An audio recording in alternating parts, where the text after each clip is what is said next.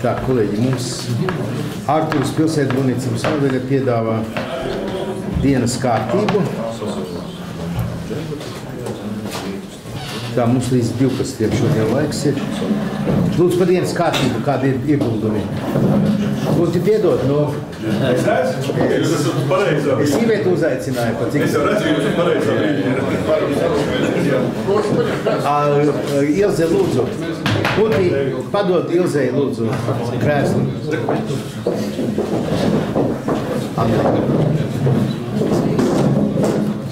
Jā, labi. Pirmais jautājums ir par Vensels mūzikas skolas ar koncertzāles, ar koncertzāles uh, funkcijas skiču priekšlikumu.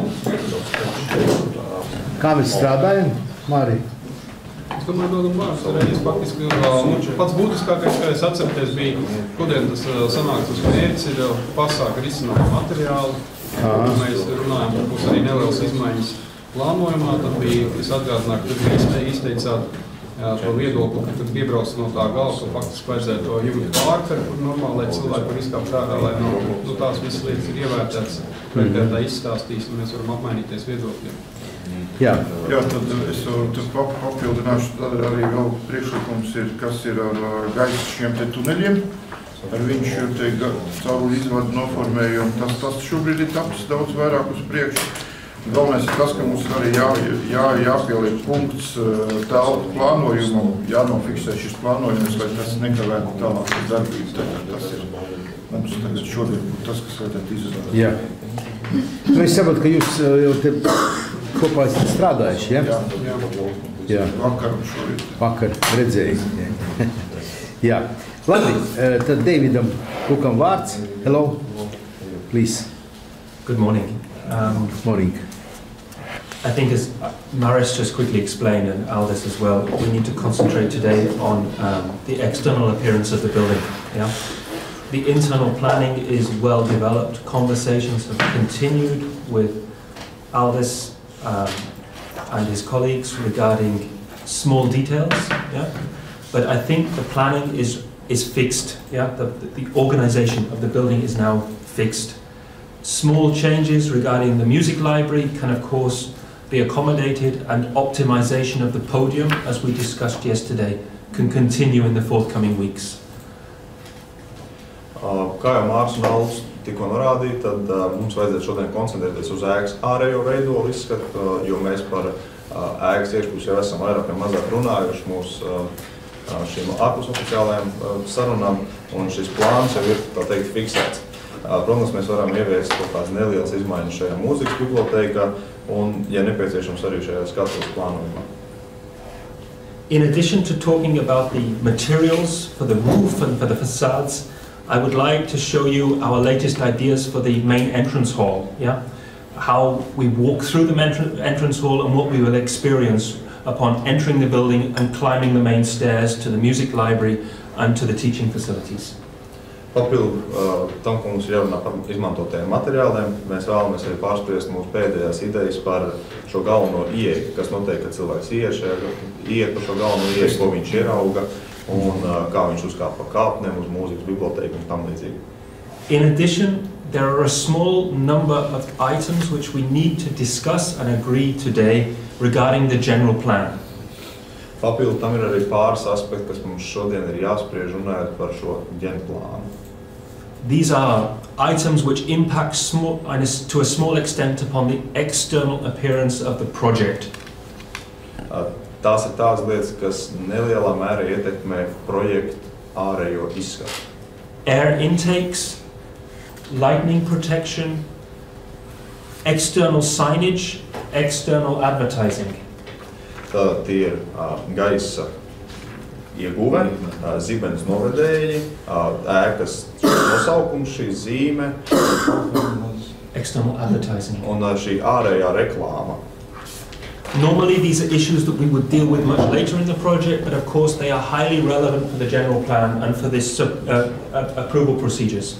Uh, Parasti mēs šīs lietas būtu izrunājuši vēlākā projekta stadijā, bet šajā brīdī uh, tās ir svarīgi izrunāt jau šobrīd. So let's start. Saistīts ar visu to plānošanas kontekstu. General layout.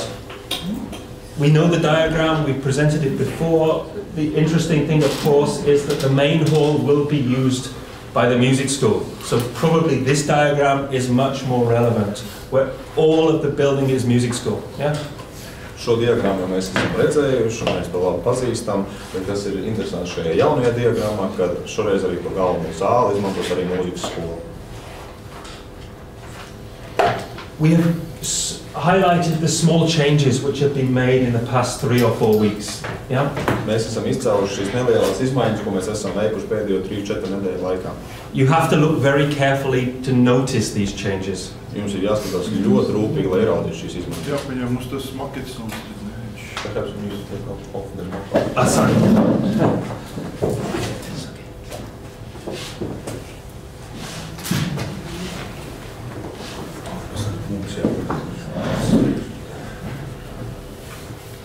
The organization of the building remains exactly the same. The number of classrooms is correct, the allocation and location of classrooms is correct. Uh, Ēka kopējā organizācija paliek tāda paša, kā mēs nospriedām šī uh, klašu atrašanās vieta ir pareiza. Separation between music school and concert hall usage is clear, yeah? Uh, Nošķirtība no mūzikas skolas un koncerta zāles ir ļoti skaidri noteikta. Respektīvi var norodināt absolūtu autonomu darbību. Mhm.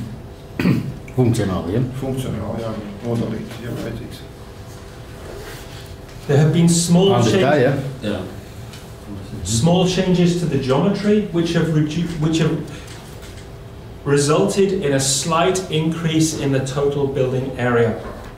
Mums ir nelielas izmaiņas ēkas kopējā ģeometrijā, kas attiecīgi radījuši nelielu ēkas kopējās platības palielinājumu. For example, we have a technical store here in the service yard which can also serve as a garage. Piemēram, šeit mums ir uh, tāda kā tehniskā telpa, uh, kas var kalpot arī kā garāža.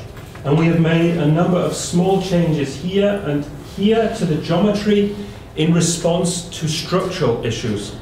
Un uh, runājot par struktūrā- struktūrāliem jautājumiem, mēs esam veikuši nelielas izmaiņas arī tajās divās sarkanā krāsotajās vietās.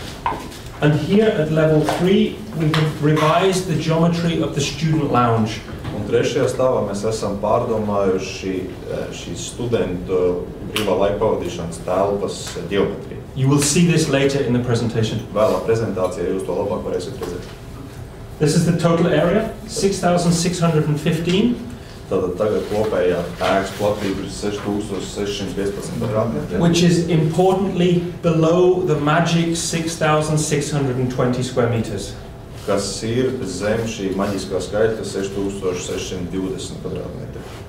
The next figure is a figure that I need to check. I received that late last night, okay? That is the total area of the building, including terraces, including all technical areas, including roof spaces.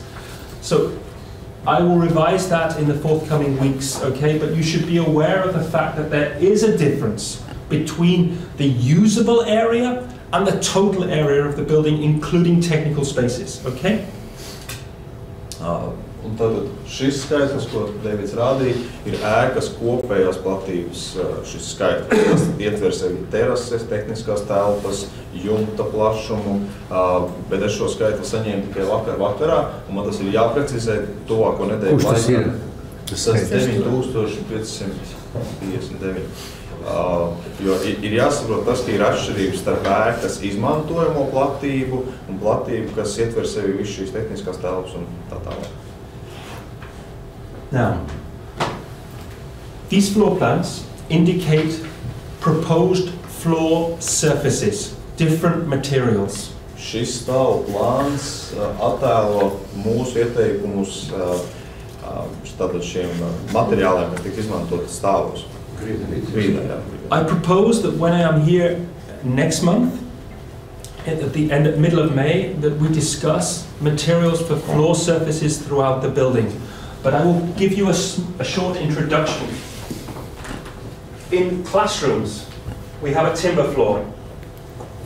In the wet areas, such as bathrooms, we have tiled floors. In the kitchens, we have non-slip floors. And of course, in the entrance areas, we have our mat wells, yeah? That's just an introduction.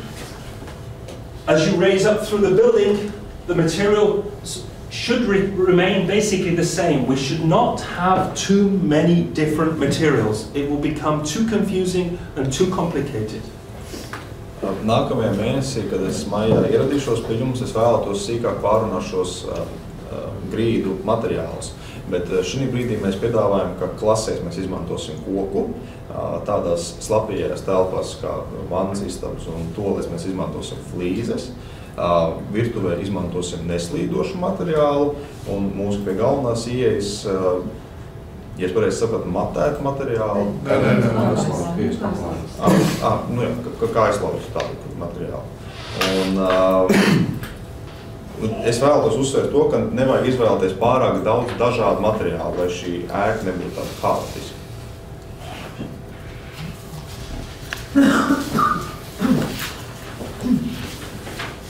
The location or the site plan. Everybody knows the building. If you look carefully, you will see our air intakes. Tātad tur ir gaisa ieguves vietas tajos. I show you those in more detail in a few minutes. Nākamā minūšu laikā jūs tās redzēsiet sīkāk. The general plan, Ģenplāns. which is pre- pretty well developed. You can see electrical supply, sorry, water supply with our new water connection. You can see electrical supply and you can see drainage all the way around the perimeter of the building. Tātad ģenplāns ir ļoti sīki izstrādāts. Šeit jūs redzējāt ūdens pie, pie, pie padevas vietas, el- elektrības padevas vietas un arī notiek ūdeņu notekas vietas. An important issue which needs to be considered is the construction site boundary. Svarīgs jautājums, kas mums ir jāapskata, ir šīs ā, būvniecības teritorijas robežas. And we discussed this morning that it would be important to maintain public access across the site during construction. Therefore, we may move this line a little further back. Šorīt mēs nospriedām, ka būtu ļoti svarīgi saglabāt šo ā, cilvēku brīvo piekļuvi arī būvniecības laikā. Tāpēc mums varbūt ar šo līniju vajadzētu pavirzīt. Piekļuva, bet iespēja cilvēkiem apiet riņķi tai plazai. Ne, ne, lai būvlaukums nepārtrauc šo cilvēku plūsmu.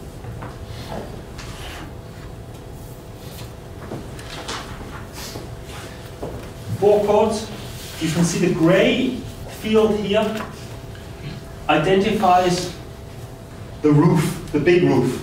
Tad pelēkā krāsā iekrāsoties ā, attēlo jumtu. car drop off below the roof.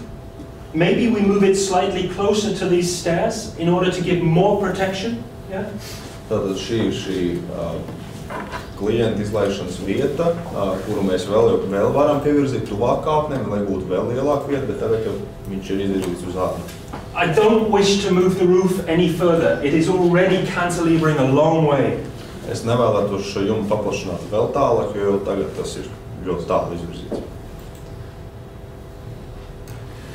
So maybe I move the stairs just a small bit further back. In, maybe I move the, the turning circle, the parking position, just a little further over to create more shelter. Ir iespēja pavirzīt trepes nedaudz nostāk, vai arī pavirzīt pašu šo piebraucamo ceļu nedaudz dziļāk, lai būtu vairāk šo pārsegumu. Mhm. The podium, the performance area in the main hall. Skatoju. We discussed this in detail yesterday. I suggest that we continue our detailed discussions this afternoon, Aldis, and we report upon this next time, okay? But your concerns are clear, that you prefer more, more access points to the podium and not just two, left and right. And you also think that the access, here you see we have our double doors. And in these drawings, we have a single door. Mm-hmm. You wish to maintain the double doors, which is clear, yeah? And then you also wish to investigate further access points here. That we will do, okay? Vakar un uh, Vakar mēs sīk izp- runājām par šo skatuves izkārtojumu, un es piedāvāju Aldim to darīt arī šodien ā, pēcpusdienā, bet ā, jums es par to ziņošu nākamajā reizē. Un ā, jūsu ā, jautājums ir skaidrs, ka jūs vēlaties šai skatuvē vairākus piekļuvus punktus, ne tikai divus. Un tāpat jūs vēlaties saglabāt šīs dubultās durvis. Bet šo jautājumu mēs izskatīsim sīkāk un ziņosim nākamajā reizē. Just as an example, Piemērs. these are the interesting discussions. We have a Steinway, which sits on the podium during performance. Tad mums ir šīs Steinway klavieres, kas uh, uzstāšanās laikā atrodas uz skatuves. The Steinway then needs to be removed during a, a break in the performance. Pārtraukuma laikā mums šīs Steinways ir jāizved ārā. That will require the stage elevators to be lowered quickly and at the same time. Tam būs nepieciešams, lai šīs skatuves, uh, tie lifti, kā tiek pacēlēji, ātri un vienlaicīgi tiktu pacelti. Nolaist, Nolaist, nolaist. nolaist. Just doing that has a, a great demand upon electrical consumption. Tas ļoti lielā mērā uh, palielina elektrības patēriņu.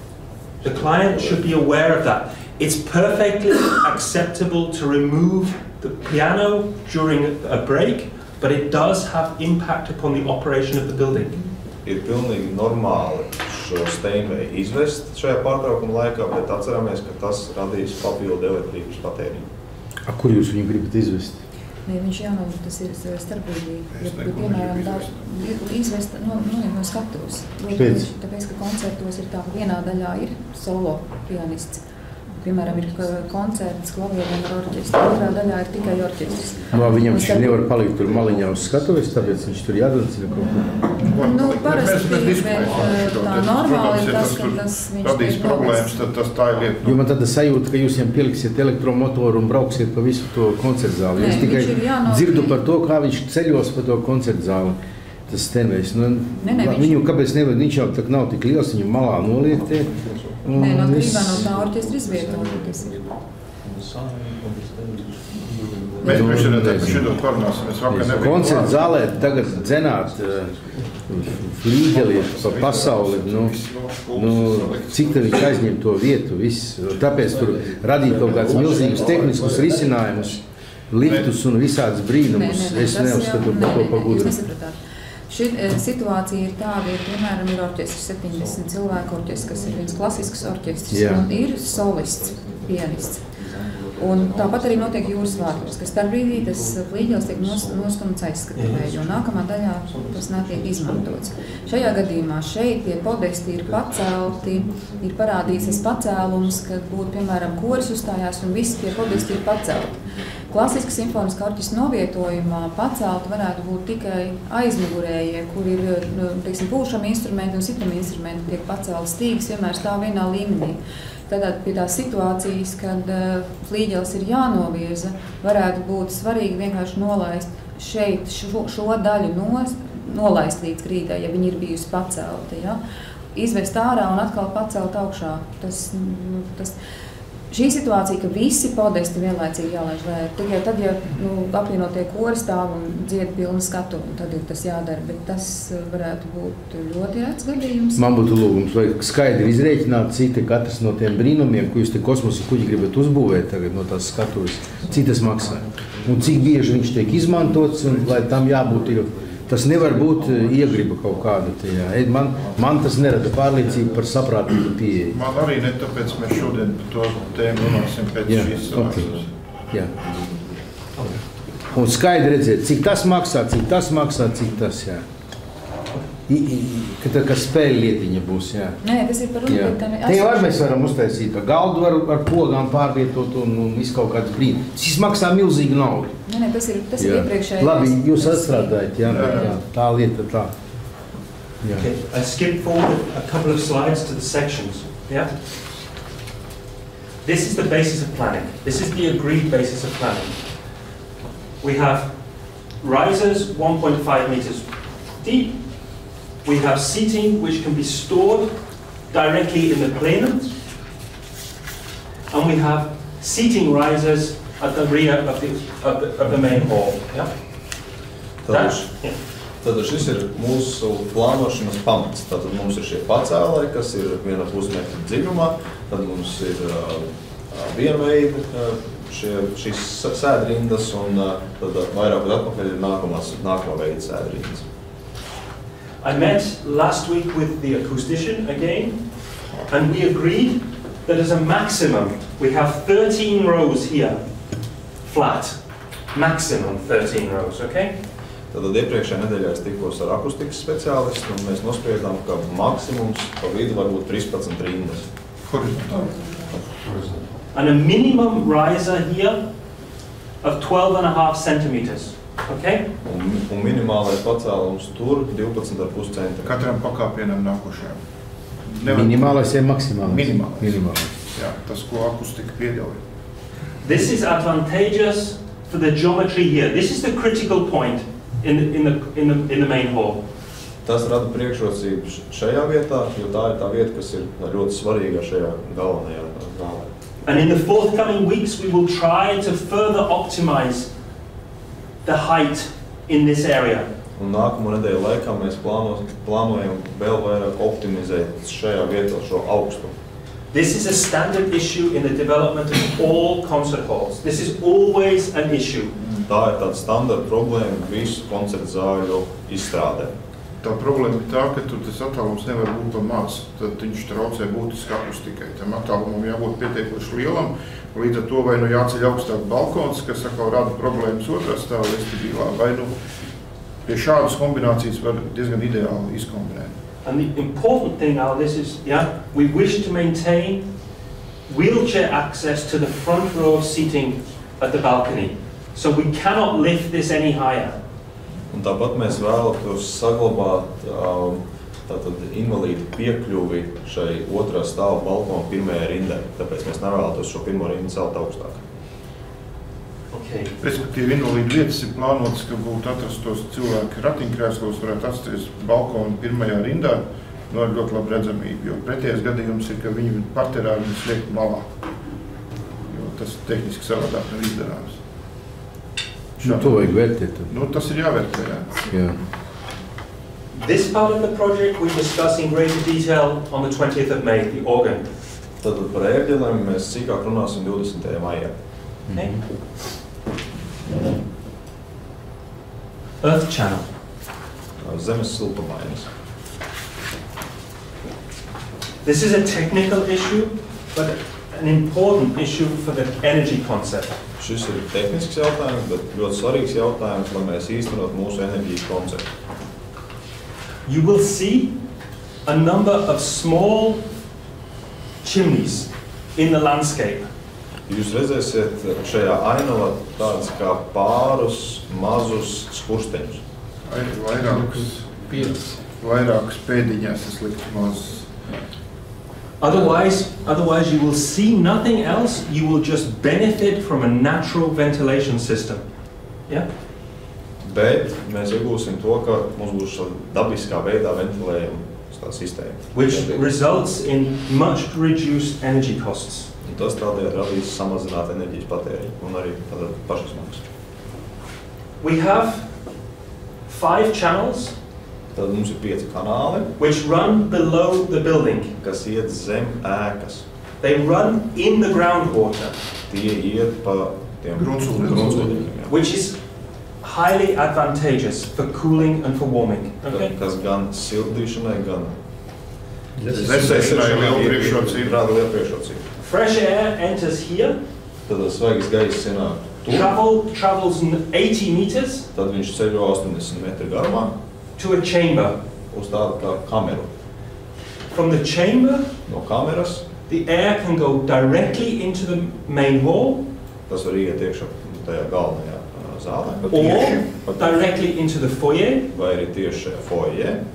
That is for natural ventilation. Tas tātad dabiskai ventilācijai. Or the air can rise in shafts to the technical level 4. Vai arī pa šachtām tas var aiz, a- aizceļot pa uz šīm tehniskajām telpām, where we have our mechanical ventilation equipment. kur atrodas mūsu šis mehāniskais ventilēšanas uh, aprīkojums. So the chamber is a splitting element. tad šis, šis, šī kamera ir tāda kā, tās kā sadals punkts, allowing us to operate naturally or with mechanical ventilation. kas ļauj mums izvēlēties, vai nu mēs darbojamies uh, dabiski, vai nu mēs darbojamies ar šo mehānisko ventilāciju. Here are the small chimneys. Tad tur atrodas šie mazie skursteņi. Each of the small chimneys is 4.5 meters high, Katrs no šiem mazajiem skursteņiem ir 4,5 metrus augsts, is 1.5 meters in diameter, pusotru metru diametrā, and is clad or the outside material is the same as our masts, a polished stainless steel. Un Tātad šis ār, ārējais materiāls viņam ir tāds pats kā mūsu mastiem, tāds pulēts, nerūsējušas tērauds. Architecturally, they are ac- totally acceptable. No arhitektoniskā viedokļa viņi ir pilnīgi pieņemami. In terms of scale, 4.5 meters is large for us, but in comparison with the building, they are small. They are very small. Mums liekas, ka 4,5 metri ir kaut kas augsts, ja salīdzinām ar ēku, tas ir kaut kas ļoti mazs. Okay.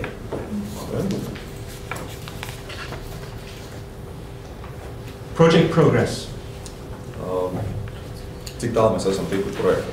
As you can imagine, we have done much more work than just in floor plan. Kā jūs varat iedomāties, mēs esam darījuši daudz vairāk nekā izstrādājuši stāvu plānu. The entire building is in three dimensions now.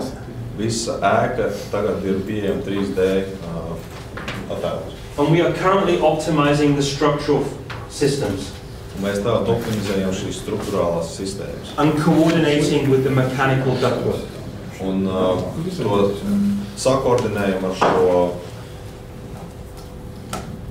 teiksim, nu, kur sil- siltumtrūks, kur ies un elektrības, nu, viss tā, tā, tā, tā, me, me, mehāniskā inženierija, kā speciālists varētu. And then generating int- internal images, staircases, balustrading. Yeah? Un tādēļ mēs varam iegūt arī šīs uh, iekštelpu attēlus, kur mēs redzam prekas un tam līdzīgi. Preparing for future presentations. Un tādēļ mēs gatavojamies nākotnes prezentācijām. Oops. Okay. The most important issue today Šīs dienas svarīgākais jautājums facade and roof. - tātad fasāde un jumts. This is what I showed last time. Šis ir attēls, ko jūs redzējāt iepriekšējā reizē. This is what hangs outside. Un Tas ir tas, kas atrodas ārā. We discussed the geometry last, last time, and I think we were in agreement that the geometry is good. Iepriekšējā reizē mēs pārspriedām ēkas geometriju un mēs nospriedām, ka tā ir uh, pieņemama. I explained about the contrast between the horizontal elements and the expressive roof form. Tātad es jums paskaidroju par šo kontrastu starp šiem horizontālajiem elementiem un šo izteikto jumtu. You whispered to me before I left that we should think about color, color, and color. Uh, Un jūs man, man uh, tā teikt, čukstus veidā, pirms es uh, aizgāju prom, uh, jūs teicāt, ka mums ir krāsas, krāsas un vēlreiz krāsas. And that the building should not disappear into the fogs of winter. Un ka šai ēkai nevajadzētu pazust ziemas miglainajos apstākļos. So, the question is, which material can we use for the roof and for the edges of the roof? Un Tātad jautājums ir, kādu materiālu mēs izmantosim jumtam un šīm jumta uh, sānu malām. Do we use different materials and different colors? Vai mēs izmantojam dažādas materiālus un dažādas krāsas? Maybe not. Maybe it's too much. Varbūt nē, varbūt tas ir par daudz. Maybe we use the same material with the same colors, but detail them slightly differently. Varbūt mēs izmantojam tās pašas krāsas, to pašu materiālu, bet detalizāciju izvēlamies citādāk. We shouldn't forget, we see these elements from 60 meters away. Mums nevajadzētu aizmirst, ka šos elementus mēs redzam no 60 metru attāluma. augstāko daļu. We see these elements, the edges, from much closer. Bet šīs malas mēs redzam no tuvākā attāluma. The edges should be dealt with in a finer manner. Tātad mums ar šīm malām ir jāstrādā sīkumaināk. This is what I mean. We see the edges from here or from here. Šeit jūs varat redzēt pamatojumu tam, ko es tikko teicu, jo mēs šīs malas redzam gan no turienes, gan no turienes, gan arī no turienes. I propose, or we propose, using a standard roofing technology here, Es iesaku izmantot tādu standartu uh, jumta izklāšanās tehnoloģiju tajā vietā. And then using the same material, but here, here, and here. Un tad izmantot to pašu materiālu arī tur, tur, tur. Bet ar citu iestrādes, bet ar citu iestrādes. This is a standard roofing technology, a very safe and very practical roofing technology. Tad šī standarta jumta izklāšanas tehnoloģija, kas ir droša, praktiska. Sta- It's called a standing seam technology.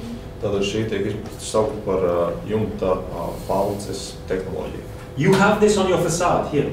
This Jums, is your facade. jums šī tehnoloģija atrodas arī šeit pat uz mūsu fasādes. When you work with it on the roof, you fold it again, doppelfels. Kad mēs strādājam ar šo tehnoloģiju uz jumtu, mēs it kā viņu salocam dubultā. This material I propose using here. To materiālu es iesaku izmantot šajā vietā. Here. Which gives the building a slight structure, the roof a, stri- a slight structure. To es iesaku izmantot šajās vietās, jo tad jumts iegūst tādu kā struktūru. But it should not be grey. Bet tam nevajadzētu būt tādā kā krāsā. So the question is, which color do we use? Tāpēc jautājums ir, kādu mēs izmantojam krāsu.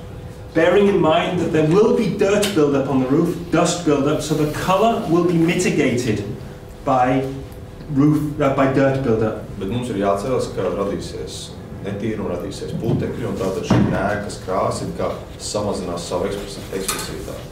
This color would be wrong. Šī, This, krā, šī krāsa būtu nepareiza, it's too subtle. tā ir tāda uh, pārāk lieka, teiksim. It would lose its effect very quickly. tā zaudēt savu šo efektivitāti ļoti rīkīgi. So I propose to use a gold. Es iesaku izmantot zelta krāsu, Yeah. It's the same material, tie ir tie paši materiāli, just a different color. tikai cita krāsa. Okay.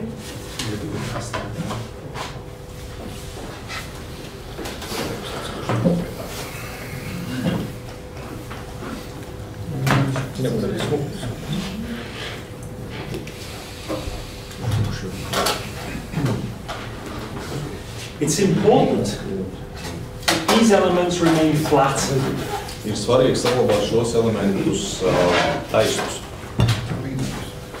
Therefore, when we are working with this very thin material, it needs to be reinforced. Yeah? As a board. Tāpēc, ja mēs strādājam ar šo materiālu, tas ir, uh, uh, tas ir jāpārveido kā, šī, šī, šī, šī, kā šis materiāls, ko, ko Deivis tur rodas. Again, a standard product. Šis arī ir standarta pieejams produkts. Viņš ir uz tādu pamatojumu visu, viņam apakšā ir pamats. skābē. Tas jau mūžīgs kāds.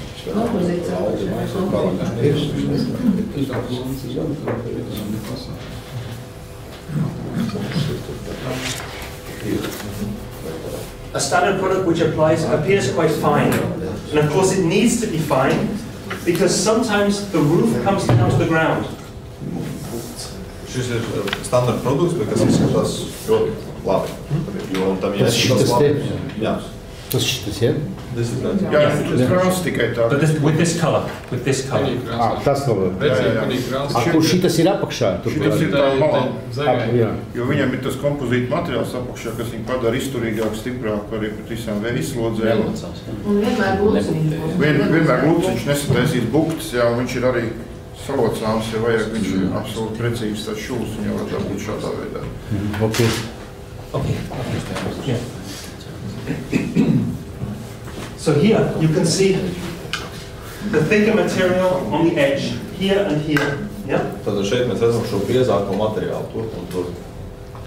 Respektīvi, tur vidū, kur tas saslēgums, tur ir eh, lietas ūdens, šīs, šie te kanāli uz jumta, un tad no tā kanāla turpinās šis te jau, jau Bet krāsa visu laiku ir tāda. Krāsa precīzi kā viens, kad viņam jānāk krāsa. So before and after. Tad pirms un pēc. I think the building looks grander. It looks more representative. Yeah? I think the color is right. Yeah? Es domāju, ka tādējādi ēka izskatās diženāka, uh, un, uh, un es domāju, ka krāsa ir pareizā. I think. And of course, the color can be exaggerated by external lighting. Protams, mēs varam vēl vairāk pastiprināt šo krāsu ar papildu ārā apgaismojumu. Working with a metal, now this is a great image. Jo strādājot ar metālu, un man ir viens labs paraugs, viens labs attēls. This is this product. Yeah. Šeit mēs redzam šo produktu, kas viņam ir rokās. So working with external lighting, we can change the appearance of the building.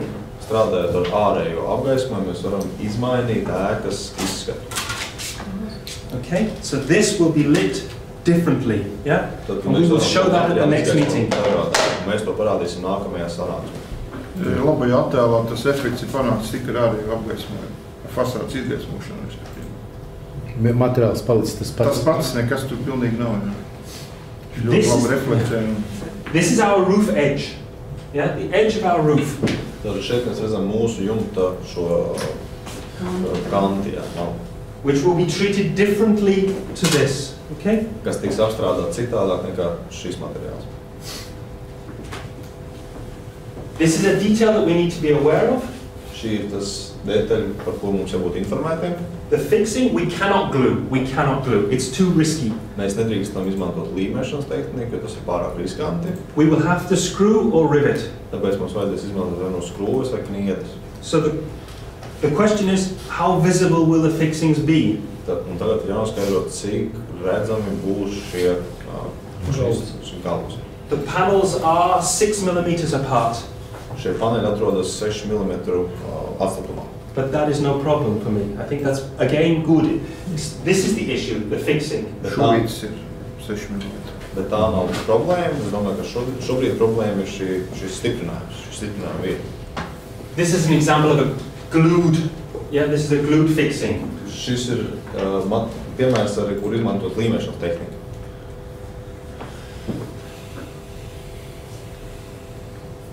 This is what happens if you work with, without the reinforcement. The, ma- the material, the material is very thin. If we have no reinforcement, the material will look a little like this or a little like this. Šajā attēlā mēs redzam, kas notiek, ja mēs nestrādājam ar šo pamatni. Tad uh, materiāls paliek tāds, kā mēs redzam attēlā, jo viņš ir plāns. I do not want that. I want it to be much more precise, much, much cooler, yeah? Es nevēlos, lai tas notiktu. Es vēlētos, lai viss būtu precīzāks un labāks.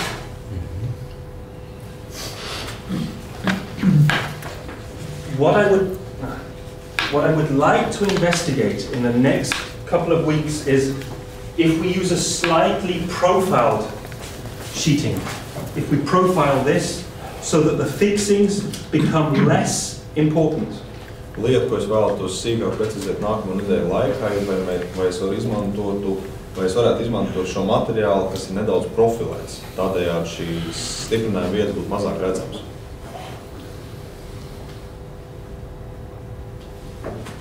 A related issue are the windows, Andres. Andres asked me, where are our sunscreening devices? The sunscreening devices are not on the outside of the building like here.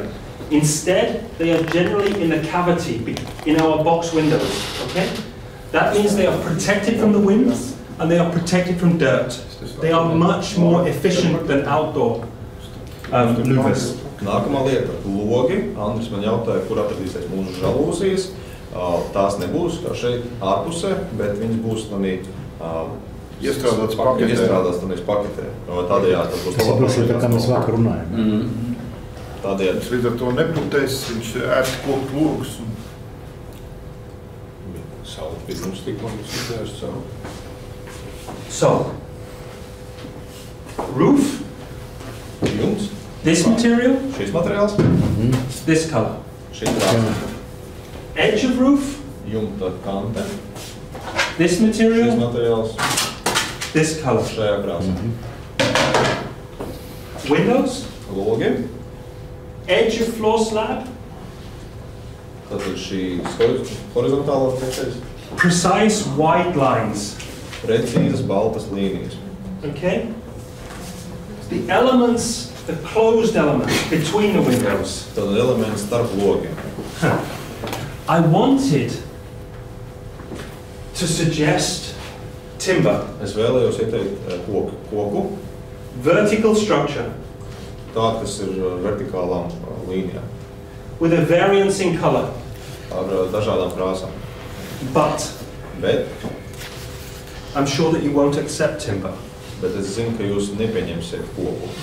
Timber will, timber, timber will be difficult.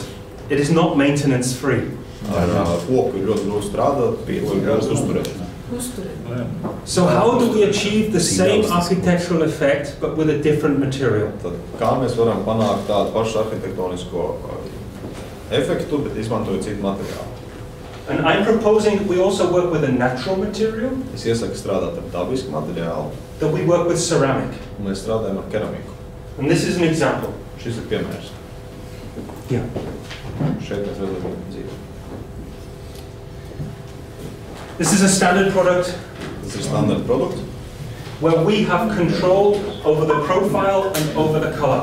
kur mēs varam kontrolēt gan profilu, gan Respektīvi, viņš var tikt izgatavots atbilstoši profilā, kā mēs Kā gribam, grib. individuāli, un arī krāsu. Mēs varam to dabūt tādu, tā kā mums vajag viņu gatavu pie ražotāji uztaisīt tieši tā, kā mums vajag. This is a little dark. This is too black. Šis ir pārlieku melns, pārāk tumšs.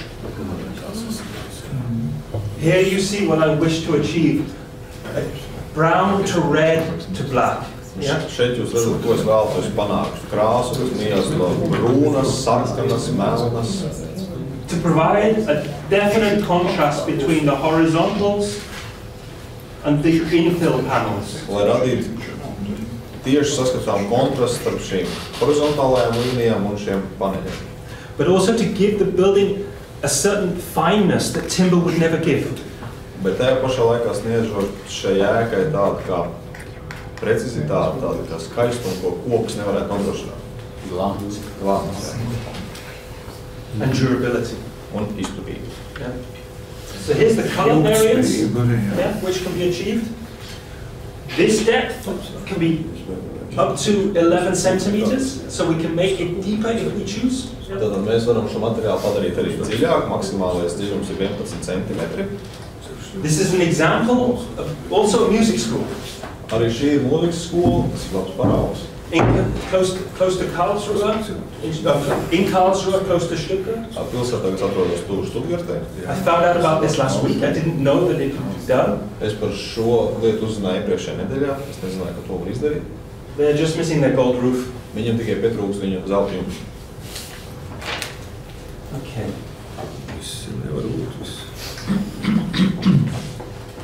The main entrance Galvenā ieeja with signage, ar uh, šo ēkas nosaukumu uzrakstu, illuminated, kas tiek izgaismots applied to the balustrading. un uh, pielikts pie, pie, pie, šiem, pie šiem stikla balkona margām. What is missing is our logo. Kas mums trūkst, ir mūsu logo. Okay. And the entrance to the music school with its own sign applied to the side wall of the secondary performance space. Un mūzikas skolas nosaukums, kas ir pievienots pie viņa, pie viņu ieejas, pie šīs sienas. So here you see the same material for the facades on all four sides of the building. We use the ceramics, we use the white edges, we use the golden roof. Šeit jūs redzat, ka visās ēkas daļās tiek izmantot vienu un tie paši materiāli. Tātad Keramika, zelta jumts, baltās horizontālās līnijas. Okay. That is materials.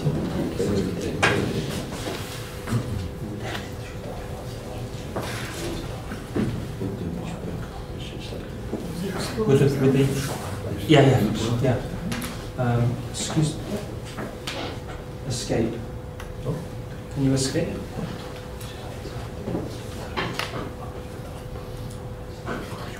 Elevations. Okay.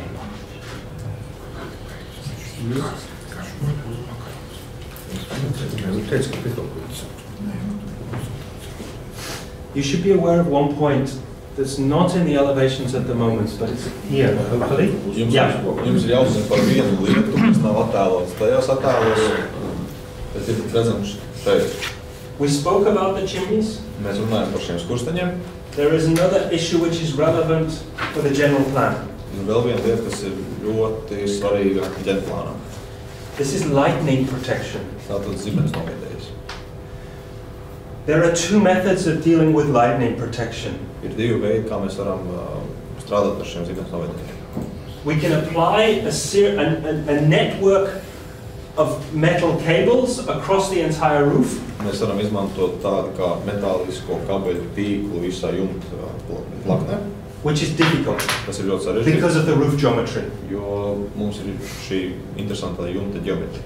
It is also difficult because we will then need additional lightning protection close to our outdoor auditorium. Yeah? Un Tas ir arī sarežģīti, jo šajā gadījumā mums būs nepieciešama papildu zibens novadīšana šajā ārā auditorijā. We can provide much better coverage with a single spike Mēs varam nodrošināt labāku pakalpojumu ar vienu šo mastu, seven meters above the highest point of the building. kas atrodas 7 metrus virs ēkas augstākā punkta. Stainless steel spike, 15 centimeters in diameter, Tātad nerūsējušo tērauda šis stāps, kas ir 15 cm diametrā. with a conical point at the top. Ā, Un tātad viņš, viņam būs tas konisks, tas Architecturally, it doesn't, it doesn't harm, harm the sculpture at all. In fact, the sculpture probably looks even better. arhitektoniski, viņš nekādi neietekmē, varbūt tas pat labāk izskatās. I would prefer this solution. Es izvēlos šo ceļu. Aktīvo zibens aizsardzību, respektīvi. Bet varbūtība, ka nosacīt cilvēku ir 1 10 mīnus 7. Tas ir no 10 miljoniem viens gadā iet bojā. Vēl jau vairāk mocīties. Vajag 10 miljonu iedzīvotājs mums, mums pat tālu no tā, tad tikai viens. Bet par to aktīvo ir viena, viena, viena bažu, ja viņi nevisai labi, labprāt grib mūsu ugunsdzēsības dienesti saskaņot. Un, tur ir dažādi apsvērumi. Otrs ir tas, ka es lūdzu pārbaudīt, vai tas neietekmēs kaut kādā veidā arī šīs skaņu sistēmas, kas ir zālēs.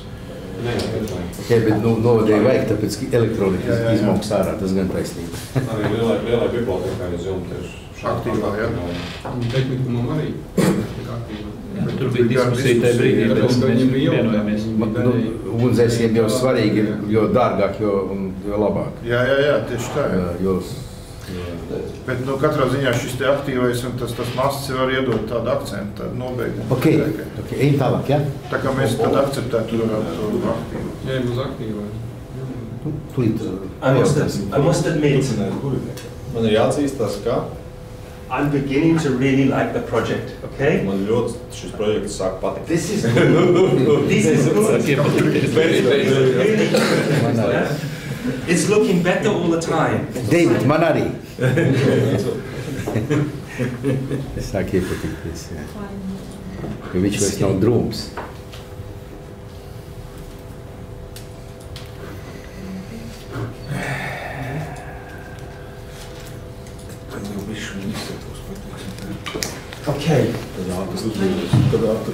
External signage relevant for the general plan. Tātad ārā ā, šis uzraksts. Reklāmas saimnieks, jā. Reklāmas, Reklāmas, jā. reklāmas stendi. Afišas. We had a meeting, an internal meeting. We decided that the preferred location for signage would be here, close to the small bus stop. Tātad iekšējā sapulcē mēs nospriedām, ka vislabākā vieta šai reklāmai būtu tur, tuvu pie autobusu pieturas at one of the main entrances to the plaza. Un vienā no galvenajām šīs plazas piekļuvas punktiem. We were asked to investigate a possible hanging of 12 A1 panels. Mums tika lūgts izskatīt iespēju izmantot 12 A1 izmēru paneļus. 12 afišu vai vienlaicīgi lūgt. 12 A1. Vai dar certo. Yeah. Cum este lexing? Não, começa a te crescer, né? não. que eu estou estudando relações, não. era por operação mundial. Isso, não? Só.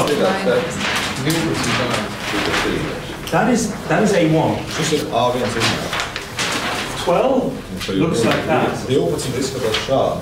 If we're not careful, we create a wall, Ja mēs neesam uzmanīgi, mēs radīsim sienu. and the wall will block. The wall will then block the view of the music school. Tad šī siena tad nobloķēs skatu uz mūzikas skolu. So we asked, do we need analog or could we do digital? Tātad mēs jautājām, vai mums ja- jāiet šis ceļš, vai mēs varam izmantot digitālo ceļu. Digitāli. And then, how big would the digital screen be? Un tad, cik tad šis digitālais ekrāns būs liels?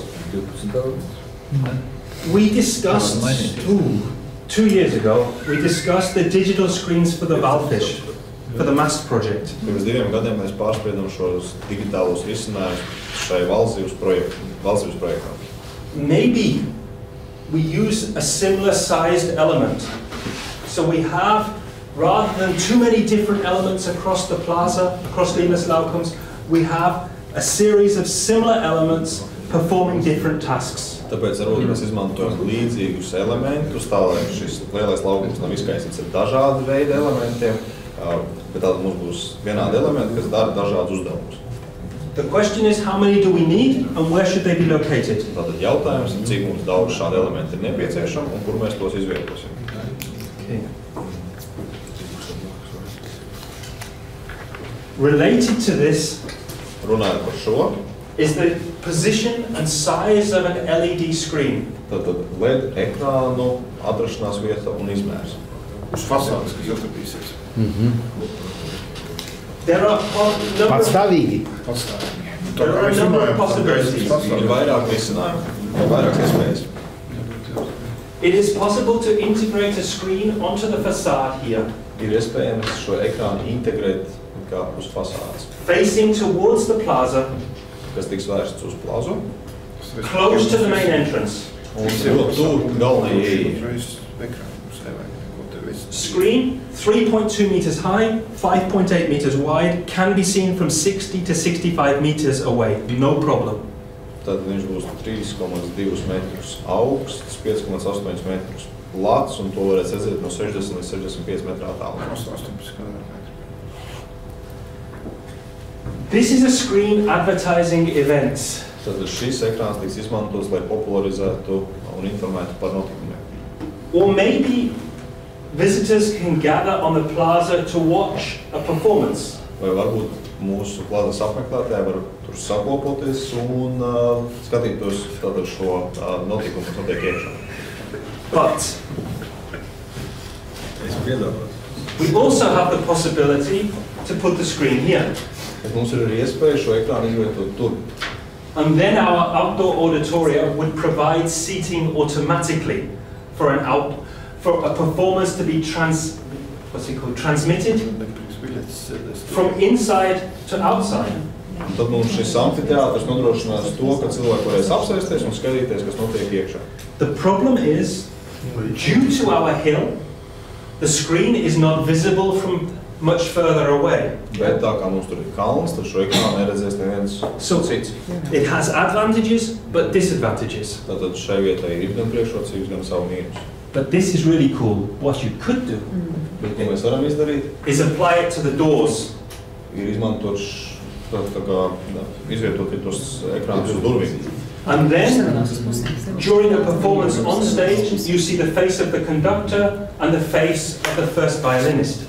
Un tad, tad šīs uzstāšanās laikā mēs uz vienā ekrānā redzam teiksim, diriģentu un otrajā ā, pirmo ā, violas spēlētāju. Similar to that. Yeah? Līdzīgi kā šeit. Kādi izmēri tiem? Tas ir lielāks. Here we could make it bigger. We could make it 4.5 by 6.8. No problem, 70. 24 sklājumos. Yeah. Tad mēs varam ā, 4 reiz- 4,5 reizes 6,8 izmantot. Okay. Un tie mazie?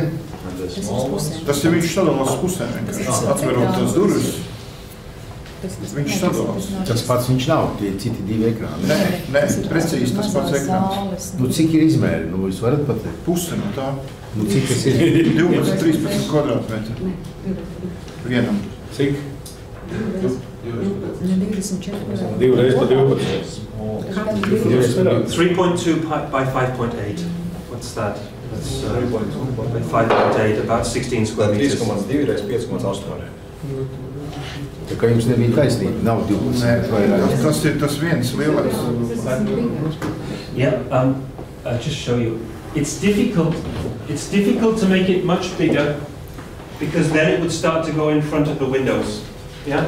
So Tad ar šo ekrānu ir grūti padarīt lielāku, jo tad tas aizsegs logus. Skaidrs, skaidrs, jā. Bija jautājums par tiem diviem, cik viņi katrs liels. Uh, David, what is the size of the screen uh, and the summer stage? Nē, nē, nē, nākušais. same? when you split them, uh, what did I say? I said 4.8 by 7.2, so it would be 4.8 by 3.6 or something. Yeah? No, 13 gadu. So, 4,8 By 3.6. Priekšsēdētāji, tas ir tas pats ekrāns. Viņš vienkārši Tas nav tas pats, ir divi atsevišķi ekrāni, lūdzu pasakiet man kvadrātmetru. Nečaukstiet. 13, 14 kvadrātmetri. 14,8 reiz 3,6. 14? Ko tu stāsti tur? 4,8 reiz 3,6. Because 4,8. in total they should have the, the standard 16 by 9 format. That's the most important thing. Yeah? Tad galvenais ir, lai viņi būtu formātā 16 pret 9. Tas ir tas formāta veids. Jā, nu nav 12, kā jūs tas stāstat, ir vairāk, jā. Okay. So this is an issue for discussion. The issue of the s- position of advertising across the plaza is also for discussion. Yeah? Tātad mums ir jāspriež šis jautājums, mums ir jāspriež tātad šī reklāma, kas atrodas šajā plazā.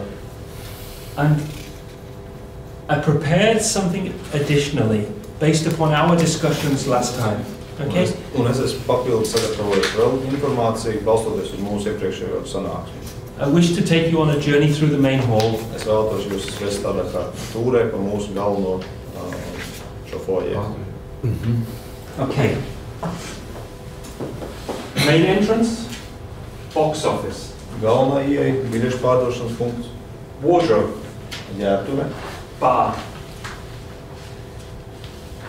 Secluded area of the bar or cafeteria, yeah? tātad bārs un tātad šī bāra uh, kafetērija. Total area in excess of 400 square meters.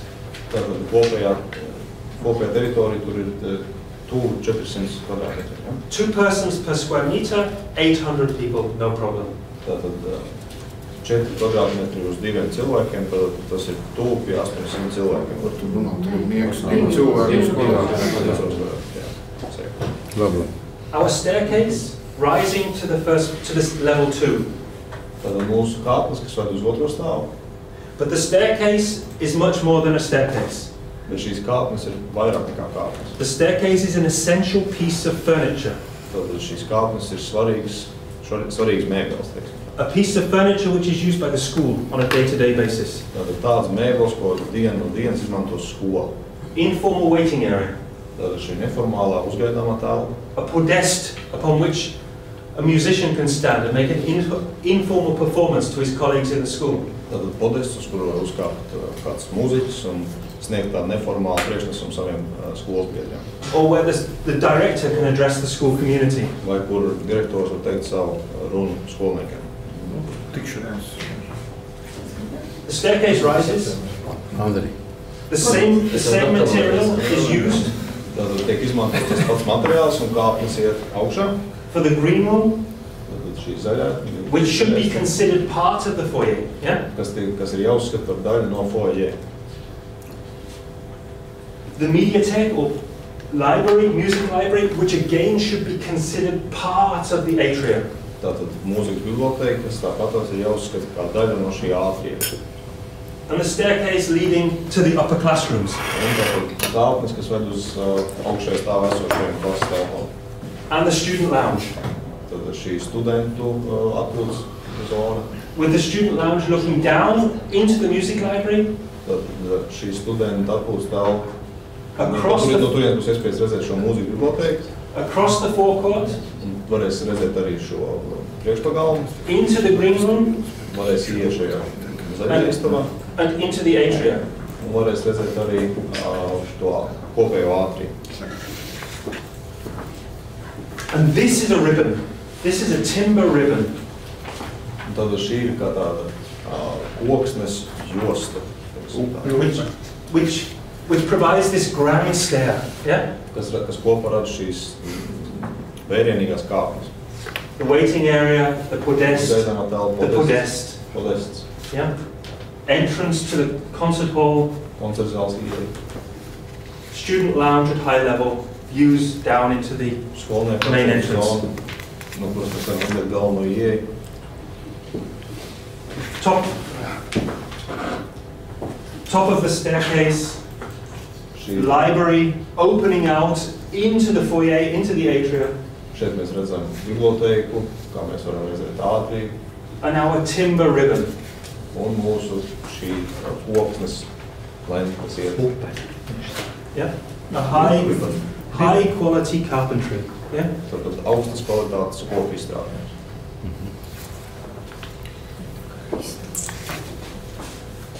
Music library. Mūzikas bibliotēka. This should be developed as a piece of built-in furniture, part of the library.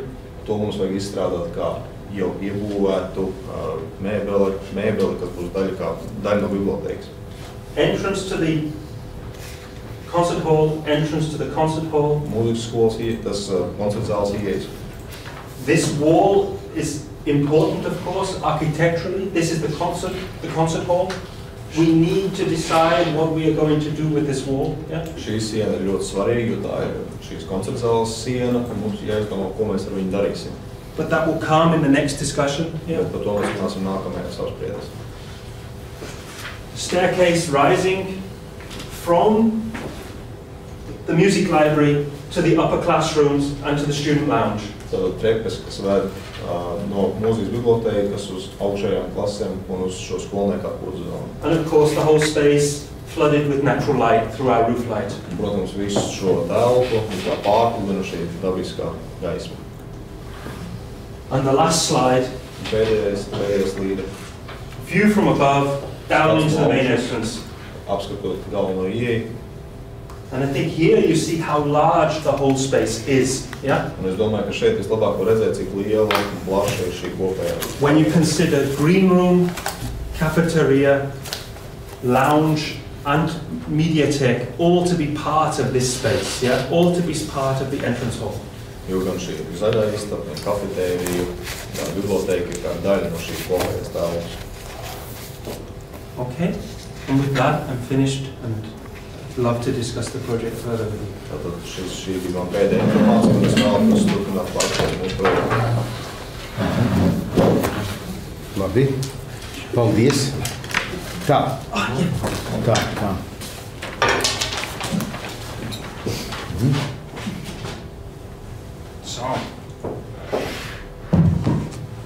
The model. And of course, the roof comes off, Tātad mēs jumtu varam noņemt. and so you can see into the. So the drop-off point, the staircase is main entrance. So you are now on the plaza, or at the end of the plaza, in front of the Wolfish. Tātad tagad jūs atrodaties kaut kur pie valsības.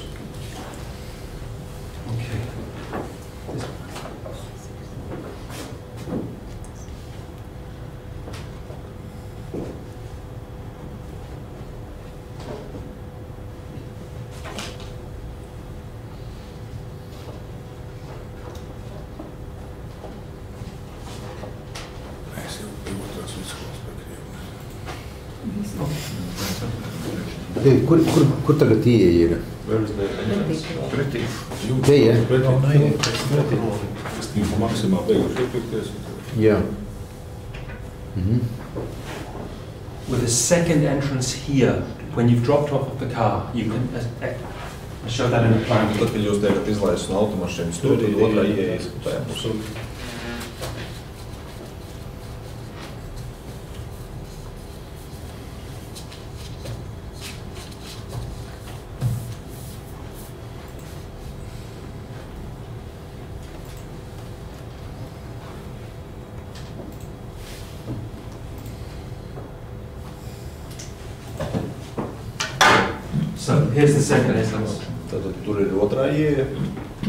Car drop off here.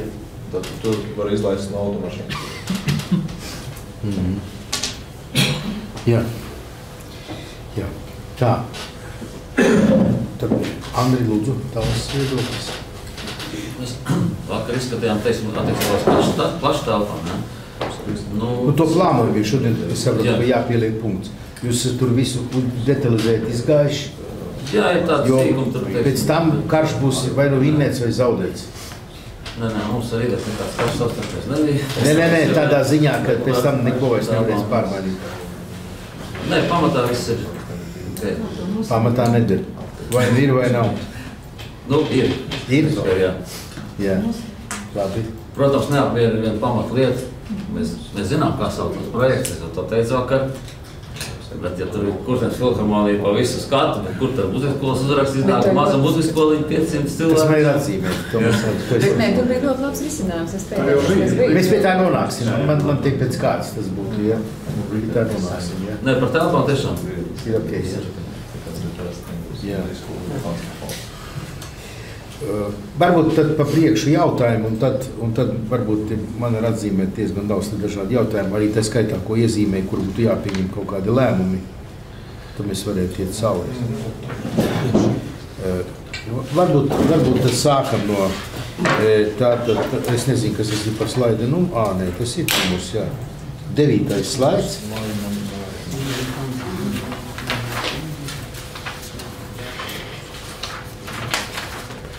Jā, eh, Deivids pieminēja tur uh, garāžu. Jā, bet, nu, ja tā ir ja garāža, es saprotu, ka ir vēl kaut kāda funkcija. Ja tur garāža un tikai garāža, tad nafika. Bet tā ir noliktava, kur ir Kas par noliktavu? dekorācijas, kas tiek atvestas, vai viņa tas, kas ir kaut kas ir jānoliek. Man lūgums, lai, de, man lūgums, lai projektētājs atbild nevis to. Projektētājs jau izdarīs to, kas viņam lūgts. Nu, tāpēc es arī jautāju projektētājiem. It's technical storage. Tad šī būs tehniskās, tehnisko lietu uzglabāšanas telpa. Kādu lietu? With large, with generous doors. Yeah, so that it can be used as a garage if necessary. That was the idea. Yeah. Bet to izmantot kā garāžu. Es to pajautāšu viņam, ko jūs jautājat. Uh, what particular things would be stored there? You could use it as a storage for any external props, anything that would be used on the external stage. Yeah. Tātad to jūs varēsiet uzglabāt lietas, uh, nu, šīs skatuves dekorācijas, kas tiks izmantotas ārpusē. Um, Aprīkojumi, ne tikai dekorācija. any kind of anything which would need to be picked up on a te- or dropped off two days before an external performance. Yeah. So loudspeakers or external lighting. We could use it as an external store which is just used on a temporary basis. Yeah. It is in a non-heated space. Yeah. It is flat floor, flat floor entrance directly from the um, service yard. So it's perfectly suited for that purpose, and we will need an external store of that type. Tad mēs tur varēsim uzglabāt skaļruņus, gaismas, šī telpa nav apsildīta un tā ir tieša pieeja no šīs, šīs loģistikas, šīs, šī punkta. Tā ir ideāli piemērot šim mērķim. Bet, e, pagaid, nu, bet apskaņošana, viss tas jau būs iekšā. Tas ir domāts kaut kam ārējā darbībā. Tas ir ārā vai tas, kas tajā brīdī netiek izmantots. Gan, teiksim, tā papildus podestūra, kas tur reizēm ir jānoliek, jā. Bet no viņas izēja tikai caur āru. Caur šo te, caur šo te tehnisko nišu, kur, kur notiek visas piegādes. Nu, nē, nu, paskaties, nu, tur ārā izēja. Nu. Pāri jāiet, nu, zem lietas jāiet apakšā. Ar, ar, ar, jūs tur nolietosiet mikrofonus, skaļruņus. Cik viņi ir? The space is about 60 square meters. 60 kvadrātmetri. Jā, nu, nav maziņa. jā. Viņa nav savienota ar, ar, ar pamatēku. Viņa ir pāri. Jūs redzat, jā, viņa pāri. Nu, viņas ie, ie, iekļūt koncerta zālē var tikai pāri.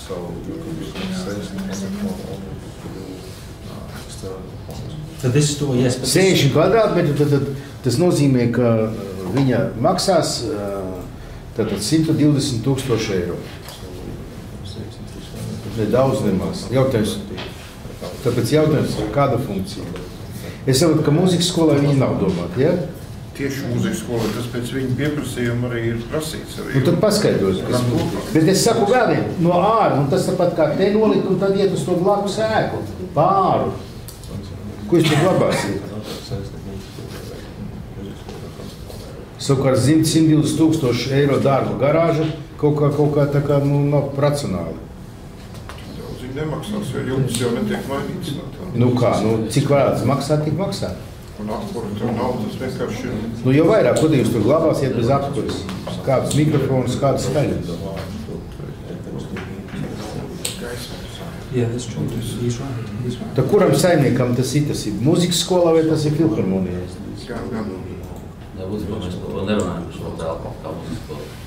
Muzikas skola nerunā. Man tā likās, ka viņi nevarēja tur runāt. Kur tu Ja tur mūzikas skola nerunā, tad viņi var atteikties, jo viņi tika ielikti programmā pēc mūzikas skolas logo. Tā kā nu, tas pagaidām nav saklausīts, tie kā racionāls atbildi, diemžēl. Tagad mūzikas skolai nevajag, tad man viņa nevajag mūzikas. Tad, tad, lūdzu, tad, tad iz, izdiskutējiet un Nu, pamatojiet. bet tad ja tas nevar pateikt, tas, tas nav ko runāt. Nākošais slaids. Jā, nu man te numurā, es neredzu, kur ir numurs. Protams, ka vajag, tagad ir puse. nevar Septiņpadsmit. pateikt, Viņam es nevajag, nu, man netika nevajag. Jā, par tām mašīnām. Jā. Eh, Devid, nu, protams, ka to, to, to jumtu pagarināt, tas ļoti dārgi maksā. Bet es vēršu uzmanību, ka faktiski tur var izlaist labākā gadījumā vienlaicīgi divas mašīnas, lai būtu viss tas jumts. Varbūt viņi var pabīdīt to, to, to ceļu mazliet, un varbūt tur trešā mašīna varētu būt.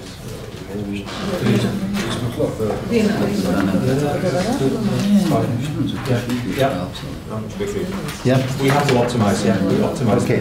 Nu, bet nevajag jumtu noteikti. Nē, nu, tad, jo tas dārgi. Tas ir dārgi. Tad nākošais jautājums ir. Ah, slaids, slaids, slaids, slaids. Tā, kas tas ir pa slaidu? Uh, 27 laikam. Ja, Op, op, op. Jā. Ah,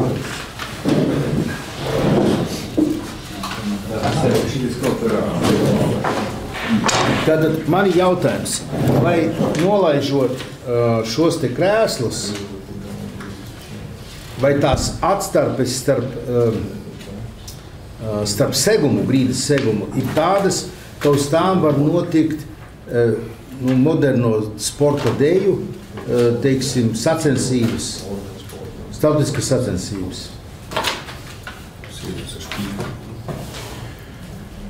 Good question. Es, es varu atbildēt. Jā. Vajadzētu rakstiski to uzrakstīt, ka var notikt. Es Jūs to garantējat. Jo, ja tas nevar notikt, tad nav jēgas tērēt tādu naudu. Es jums varu pateikt, moderno sporta deju pasākumiem liek uzliekamo grīdu. jebkurā- Nu, redziet, atkal grīda jāliek. Kāpēc? Tāpēc, ka tas tā ir, viņiem ir speciāla grīda, ko viņi jebkurā zālē viņi liek virsū savu uzliekamo grīdu saviem pasākumiem. Tā ir, ir mums Startautisko moderno deju uh, federācija. Jā. Uzrakstiet uh, rakstiski, lai tas tā būtu. Man liekas, ka uz parketa viņi neko neliek. Yeah. Un Es tagad visu laiku, es te regulāri, es tagad sacensībās, tās ir skolu sporta zāles, uh, tur nekas tieši nebija. Bet, nu, labi, es negribu mēs- Katrā gadījumā ir svarīgi, lai tur varētu tā kvalitāte kāda ir, lai tur cik liels tās atstarpes jebkurā gadījumā. That's important also in terms of air supply. Tas ir arī svarīgi, ka mēs runājam par gaisa pateiktu. Ah, We check that. That's really important. Mēs to Yeah. pārbaudīsim, tas ir ļoti svarīgi. okay. Okay. Jā, labi. Nākošais jautājums ir. jā. Uh, slaids, slaids, slaids 29. Jā. Man ir tāds jautājums. Bet, bet ja nu tā sistēma tā īsti nestrādās, tā dabīgā ventilācijas, nevarēs pavadīt. Nu, jo, piemēram, nu, ir, ir klimata izmaiņas, ja? nu, paliks daudz karstāk pēc gadiem, desmit, piemēram. Tur. Un, un vai, vai tad varēs uzlikt tur kaut kādu ventilatoru, kas, kas mazliet var veicināt to ventilāciju? Nu, vai tas tiks paredzēts? We have a mechanical ventilation system. The, the question is, how often do we need to use it? Mums jau ir mehāniskā ventilēšanas sistēma, bet jautājums ir, cik bieži mums to ir nepieciešams izmantot. Yeah. Aha. With, with the channels, it doesn't need to work as often and it doesn't need to work as hard. Ar šo kanālu palīdzību tai nevajag darboties tik bieži un tik uh, Spēcīgi. Izpēcīgā režīmā. Respektīvi, tur viņš pat to varbūt nepārtulkoja detaļās precīzi. Tur tajā kamerā, kur sanāk šie galvi kopā, tur ir padeva arī uz mehānisko ventilāciju. Jā. Bet, ja ir mazāk apmeklētāji, ja ārā Ok. klimats ir tāds, tad atbild. neslēdz. Der. Ok, labi. Jā. Tad nākošais jautājums ir par tiem skurstiņiem. Tas ir trīs, tas, uh, trīs, trīs pirmais slaids. Nu, jautājums tāds. Uh, mēs ejam apzināti, lai precīzi var nolasīt, ka tas ir skurstenis.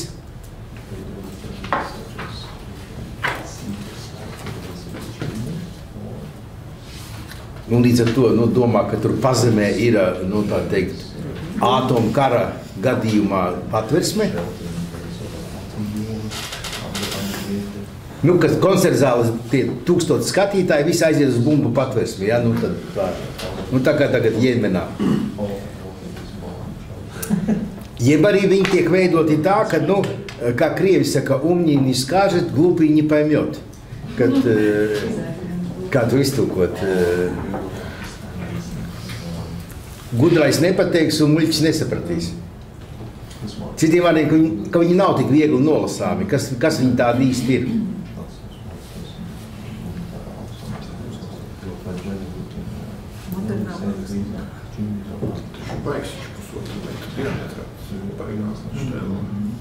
Okay.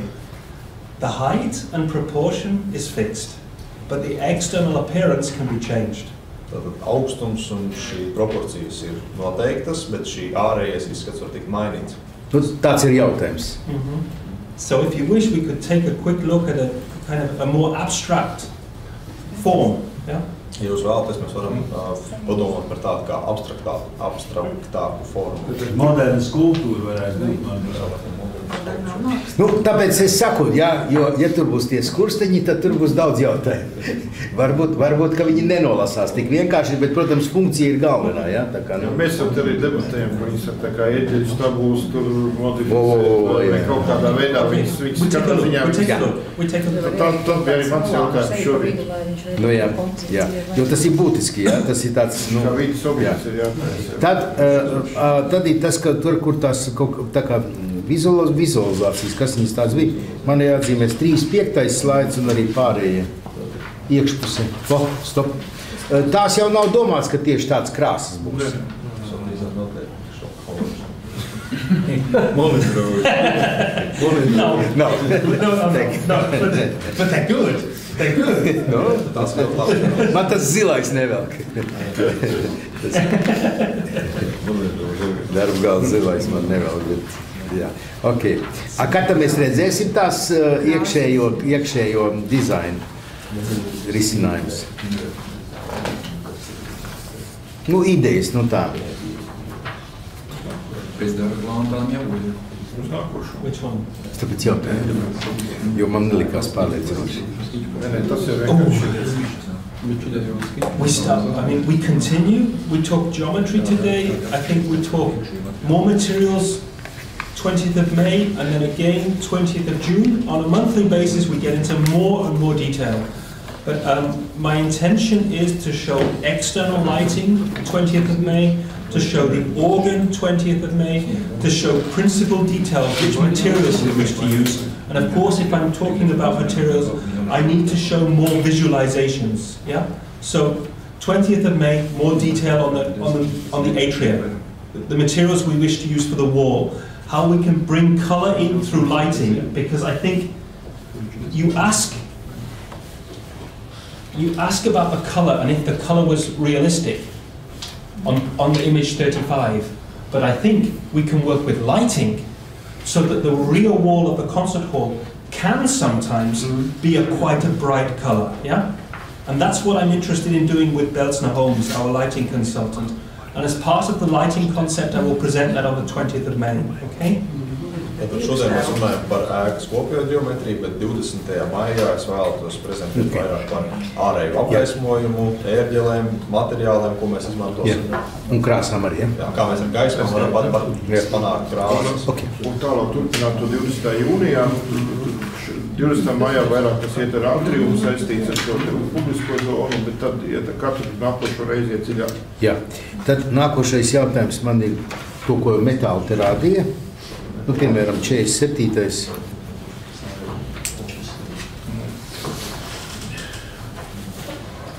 Jā, ok. Eh, Kas tas ir pa metālu?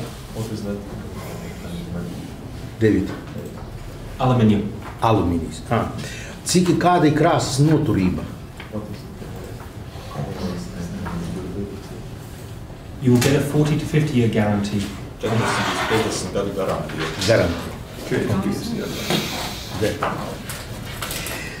Cik viņai labi lips putekļi? Kā ir, kā ir, kā ir, kā ir. Kā ir, Un, un kā, kā mēs viņu varēsim kopt? Kā ir putekļi? Okay. I talk with the manufacturers about the surface quality and about if there is a lotus effect, which can help in washing. I also talk about um, the acidic effects of seagull shit, yeah, and how that may affect the surface. But it should be okay. I, I check it technically and I come back to you, okay? Ā, Tātad ā, es par šo jautājumu parunāšu ar ā, ražotāju, ā, gan par putekļiem, gan arī par ā, kā izkārnījumiem un kā tas ietekmēs šo krāsu. Un, Jā, un, un, un tad arī kā viņu kopt. Jā? Jo skaidrs, ka viņa zaudēs savu to, to, to, to sākotnējo izskatu būtiski, ja viņš, ja viņš netiks kopts. Nu, tur nezinu, divreiz gadā vai kā, bet nu, kaut kā arī vai tas apgrūžošais efekts ir iespējams. Tas vietu. Nu, no kājām tu ne- neko neatgrūdīsi. Maintenance report. Jā? Yeah, that's okay. Jautājums ir tāds, ka faktiski visi šie materiāli tiek lakoti. Es esmu ar viņiem strādāju šiem materiāliem. Jā, tā faktiski ir laks pārklājums. Jo neviens alumīnijas atmosfēras iedarbībā, pieņemsim, viņš oksidējās. Jā. Un faktiski ir tā, ka ļoti svarīgi šajā gadījumā ir tieši tas ražotājs, jā, ka, kas, kas šo materiālu ražo. Jo man ir gadījums, pieņemsim, ar Ķīnas ražojumiem ir bijuši, kad šī laka nāk nost un ne, ne, nenostāv ne gadu. Jā, un jautājums ir tieši par šo jautājumu, kad, kad ir ļoti svarīgi. Otrs tas, kad arī uh, par to mehānisko izturību, nu, savu savais, tā teikt. Jā, pieņemsim, ja viņš nāk kaut kur at, nu, aizsniedzamā augstumā, jā, tad varētu būt, kad ir uh, ļoti viegli mehāniski šo lakoto virsmu, pieņemsim, bojāt un, un, tādā veidā. Jā, tur, kur netiek cilvēki klāt, ir ok. Jā.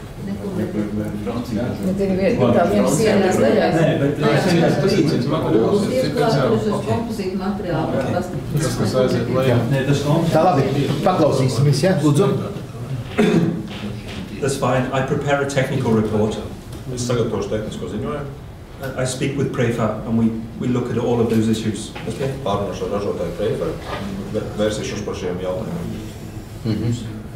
Jo, jo tā sāls jau vienmēr ir detaļās. It's all, it's all Labi, tā standard. mēs to visu gribēsim paklausīties, ja? Tā ir skaitā kopšana, ja? Jo, ja viņš ir tik jūtīgs, tad iedomājieties, kādu tur kops.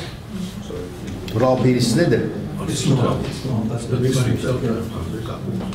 Kur sniegs, kur ūdens? Ja, ar klaisnieks, jā. Tas viss snieg ūdeni, tas skaidrs. Jā. Labi. Jā, lūdzu, lūdzu, jā. 46. ā, tas slaids, viena atpakaļ. 46. slaids, ir tīras informācija, lai pastāst. Kad bija domāts kā lietas ūdens, vai, vai finī stadijā vēl nav domāts, lietas ūdens un sniegs. Vai mēs zinām? Yeah. It's good. Thank you. Yeah. Okay. Yeah. Snow is easy. Man ir Tātad ar ar sniegu ir vienkārši. This is a standard roofing system. So we apply clips. We do not penetrate this. We apply clips to the standing seam. And then across the, the standing seam, we create our snegfanggitter. Yeah? The question is how high and how many. Mm-hmm. Okay? And that is what we will define now with the roofing manufacturer, okay? But this, it's important that nothing penetrates this. So we just clip, okay? Tad šis ir standarta jumta izklāšanas mehānisms, un mēs varam izmantot, ā, mēs, mēs neko neurbjam cauri, mēs tādiem kā klipšiem veidojam pašu to savu sniega sienu. The other important thing, in terms of rain, Runājot par lietu. Bet pagaidzi to, bet krāsa, vai pasaka, kādā krāsā būs, jo viņas nāk cinkots un nedroši tēvā Tie pārstāv. klipši tieši ir. Nē, jā, jā, es cifrēm. the same color as the roof. In rainwater, these lines are angled basically in the same direction as the roof. Yeah? Tātad šīs līnijas ir tādā pašā leņķī kā jumts. They can vary by up to 10 degrees, Tas var mainīties 10 grādu robežās, but not much more. bet ne vairāk. If we go more, then we get dirt buildup here. Yeah? Ja mēs pagriežam viņu vairāk, tad tur sakrāsies netīru. Okay, so they generally are in the same direction as the roof. The roof areas are very, very large. Yeah? Jumta daļas ir ļoti lielas, So that means that we have a great amount of water on these roofs. Yeah? Tāpēc uz jumtiem sakrāsies liels ūdens daudzums. We propose large rainwater gutters, generally one meter wide, in this location. Mēs piedāvājam vienu metru platas šīs lietus notiek ā, šīs ā, In the, grēdas. in, in the transition, Maris, between the Stefals and the finer roof. Yeah? So, we have Stefals, and we have the finer roof, and the rainwater collection is here between. Un mēs piedāvājam šo vietu taisīt tajā vietā, kur ir šis jumta falts. Pārēj. Pār, un pārējais. Pārējie no parastā jumta uz tām apmalēm. That means in this location, we have a much smaller rainwater collection. Un tajā vietā mums šī lietas ūdens savākšana būs mazākā mērā. Nu, dubultā, respektīvi, no lielā jumta un no apmalēm atsevišķi savācams lietas ūdens. We then need to take the rainwater back, to take the rainwater down. Un tad mums šis lietas ūdens ir jānovad lejā. And the rainwater will generally be taken down in the insulation. Yeah, that's what we want to do. We don't want it in front of the insulation or in front of the ceramic panels. Un mēs vēlamies šo, notek, šo lietas ūdeni savākt, ietvert šajā, kur ir tas izolācijas tie materiāli. Siena iekšpusē, uz fasādes nekas nav redzams. Here, then we channel it back. Tad tajā vietā mēs it kā viņu ar kanāla palīdzību novadam apakaļ. Maris, it gets difficult. Very difficult. Here. Arī tas kļūst ļoti sarežģīti šajā vietā. But here we have our columns. Bet šeit mums ir kolonnas. So we think we can apply rainwater next to the column and then clad the column, okay?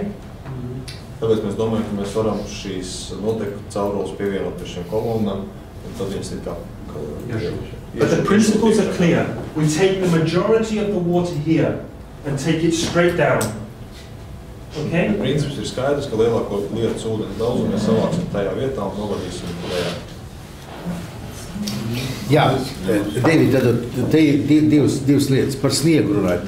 Principā jau sniegs nav problēma. Problēma ir eh, tas, ka sniegs kūst un tad eh, pa dienu kūst, naktī sasalst un faktiski veidojas uz jumta ledus.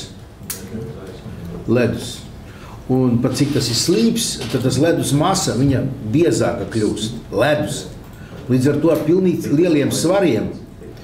Un, nu, un arī man ir tāda pieredze, ka, ka tie barjeras viņas ne, ne, nevar izturēt to. Viņas lēnām ieliecas, ieliecas, ieliecas, un tad viņas tiek salauztas.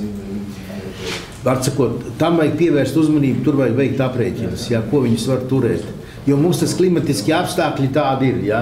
Tā kā šorīt bija, jā, piemēram, tur mīnus viens grāds, ja būtu bijis sniegs, tad viņš būtu sasalis jau.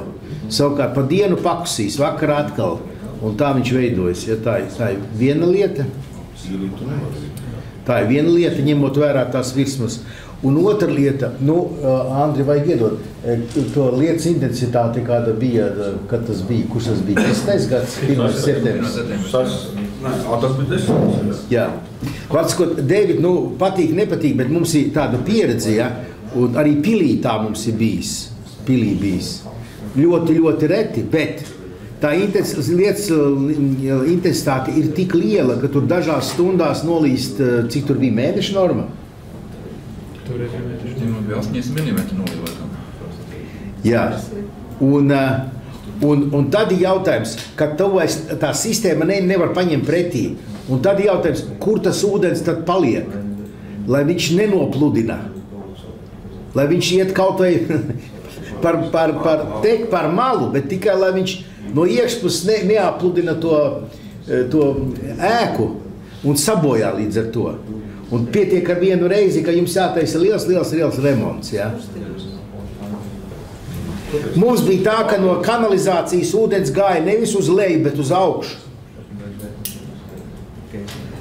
Spiediens bija tik liels.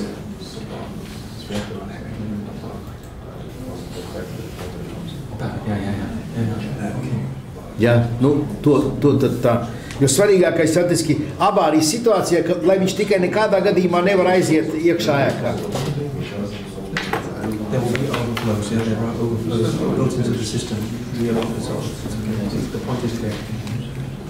Tā, nākošais jautājums. Ah, jā, tad es sapratu, ka par, tām, ka par kniedēm, skrūvēm, eh, lielumu, galvu, krāsu, ka to 20. runās, jā, maijā.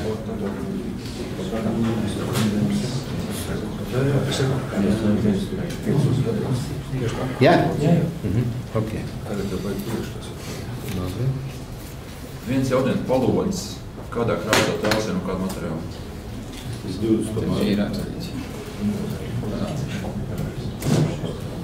Loks. Šis ir tas palods. Tas ir ēš. Tas pats. Yes. Tas zelts. Sill, window sill, yes. On the inside. Outside. Outside. I think, yeah. Is the same aluminium? I think it will be a dark aluminium. I don't think it's important as an architectural element. I don't think that we should emphasize it, yeah? So I think it... Similar color as the panels, ceramic Yeah, a dark grey, I think, yeah. Viņš metāls, bet krāsā ir maksimāli tuvu keramikai, lai Jā. viņš neizceļas. Ok. jāuzsver. Jā.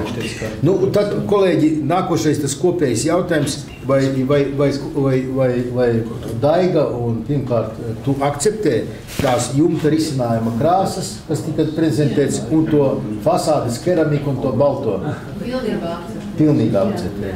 Tā keramikas Jā. krāsa jau vēl nav.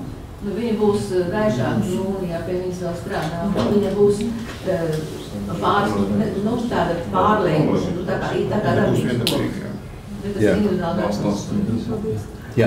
Lūdzu, kolēģi, kādas domas, jo uh, Devis lūdzu šo lietu akceptēt vai, vai noraidīt, jo jāiet uz priekšu. Lūdzu, kādas domas? Alvi, ko tu? Es akceptēju. Akceptē. Jautājums par stabiedrēlu, ja tie, tie balsti, kas to jumta teiksim, tas cerīgs. Nu, kādu materiālu tie, tie ir tērā? Tas iet runa par šito, jā? Viņiem lielai atbalsta stabiedrēlu, kas. Alvi, šitie, jā? Jā, jā, jā, jā. No, not stainless steel. Kas nebūtu nerošais uz tērauds? Nerusējušas nevis? Ā, kas tad, tas teicu, domāt. It depends if we need, if we need to clad them also with, um, we have rainwater collection, and the rainwater collection sometimes will run down the columns, yeah? With an additional pipe. The columns are steel, yeah, they're not concrete columns, yeah, so they're steel columns. So we can paint them whichever color we wish, yeah? They will not be stainless steel. That makes them visually too important, yeah? So I think they will be maybe anthracite, yeah? A, a dark grey, but not a polished surface, more of a matte surface, yeah? Um, but I, I cannot imagine that they would be stainless steel. I think that's too important. Yeah? I think it would conflict with the roof, yeah? Jā, tas ir labs. Jā. Jā. Ko tu saki? Nē, man liekas, ok. Es vēl domāju par piekļuvu, par ā, jumtu apkalpošanu, jo tur jau... Ne, to mēs atstājam jautājumu. jā, To mēs atstājam, jā. To, to mēs izrunājam. Tā, kolēģi, lūdzu, kāds, kāds viedoklis? At, at, atbalstam? Atbalstam, jā. Nav iebildumi kādi? Ir iebildumi? Nav. Nav? Nav. Nu tad atbalstam, jā. Jā. Tā, nākošais jautājums bija à, e, par to afišām. To. Tas bija 69. Tur vajadzēja atbildi, lūdzu. Tad pirmais, vai, vai viņu likt uh, reku tur šitam te, un ko likt tur, digitālo vai, vai tur tās daudzās, cik tur bija? 12. 12, jā. Es nezinu, vai tā ir īstā vieta vispār. Mēs tā neesam komisijā vēl diskutējuši. Nē, vai vispār tur vajag, varbūt pietiek ar to. Jo tajā vietā viņi es neredzu tādu aktivitāti tajā vietā. Tas pilnīgi kā Vispār man liekas, Pārvērts ir kāds atbrauks gadījumā, pēkšņi iemaldies. Nu, pārām tur tur nebrauc, tur jau brauc no centra. Es teicu, gadījumā iemaldies. Ieklausies, es gadījumā iemaldies. kāds tas var. Nu, kolēģi, nu, lai diez vai šitai vietā vajag. Nav tā, nav tā. Nav tā. Ko? Zinot vēsturi, tā nav. Daiga. Noteikti, jau Noteikti. par to uh, runājām. tā kā Ok, tad šitā vieta tiek noraidīta. Tā. Ka būs citas, tā runāsim. Tagad par nākošais ir ā, 70. Un aiz tiem sekojošie tie ā, tās digitālās lielie ekrāni.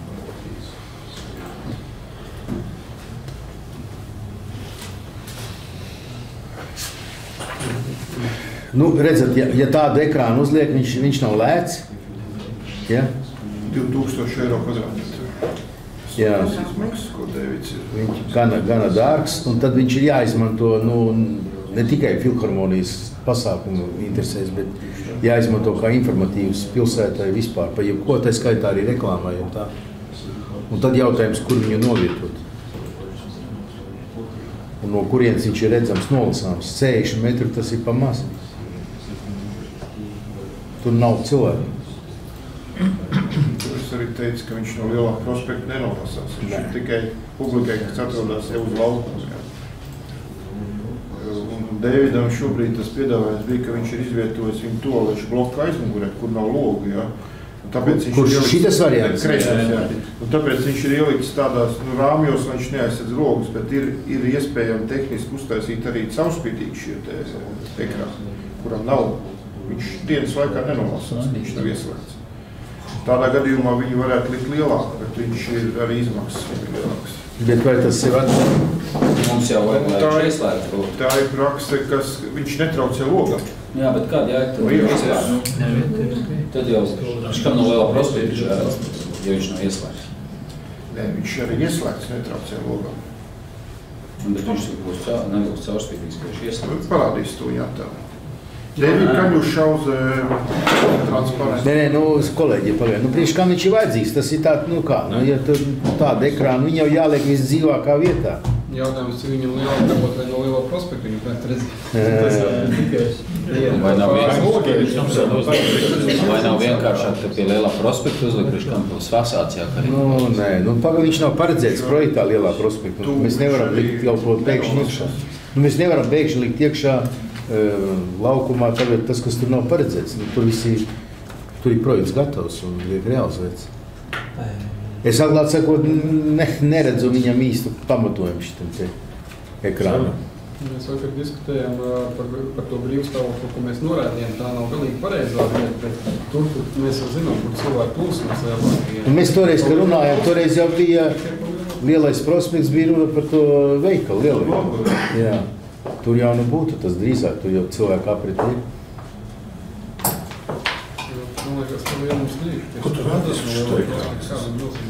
Papa, vai vajag mums tagad tērēt laiku tam? Ko?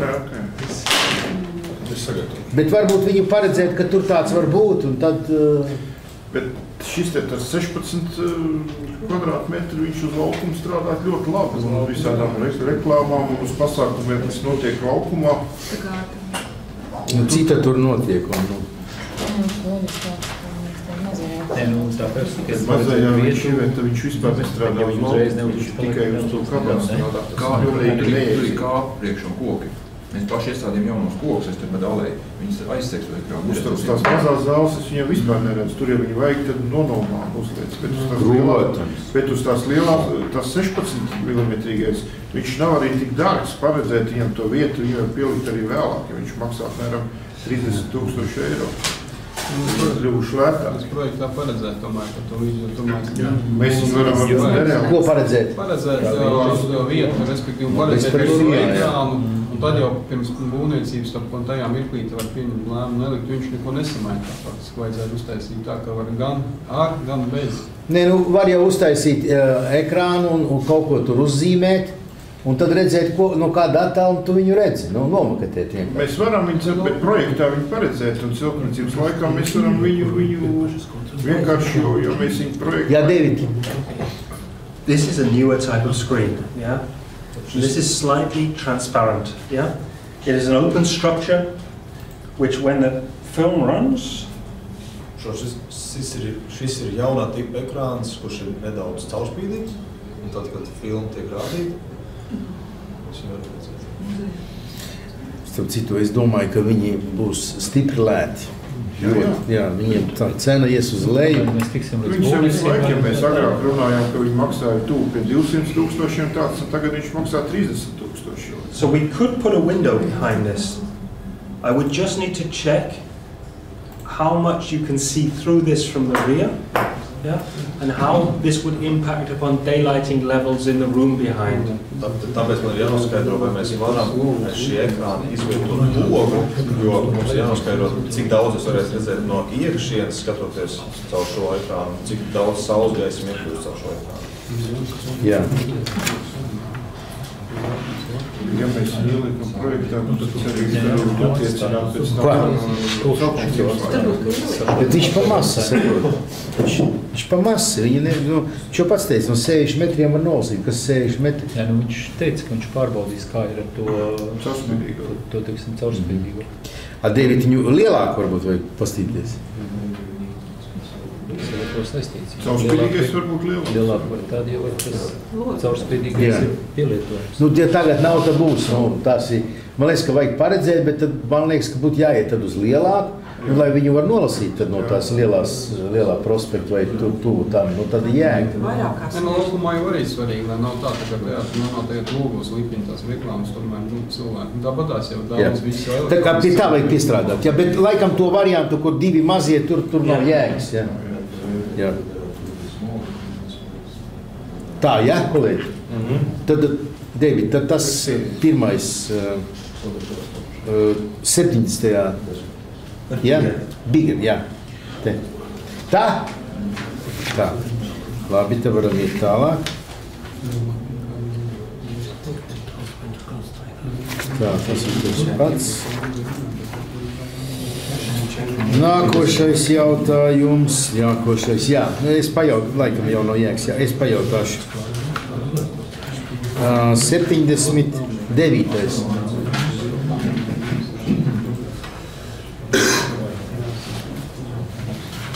Tad, nu, te nav jāuztver, ka, ka tā ir tā piedāvātā krāsa.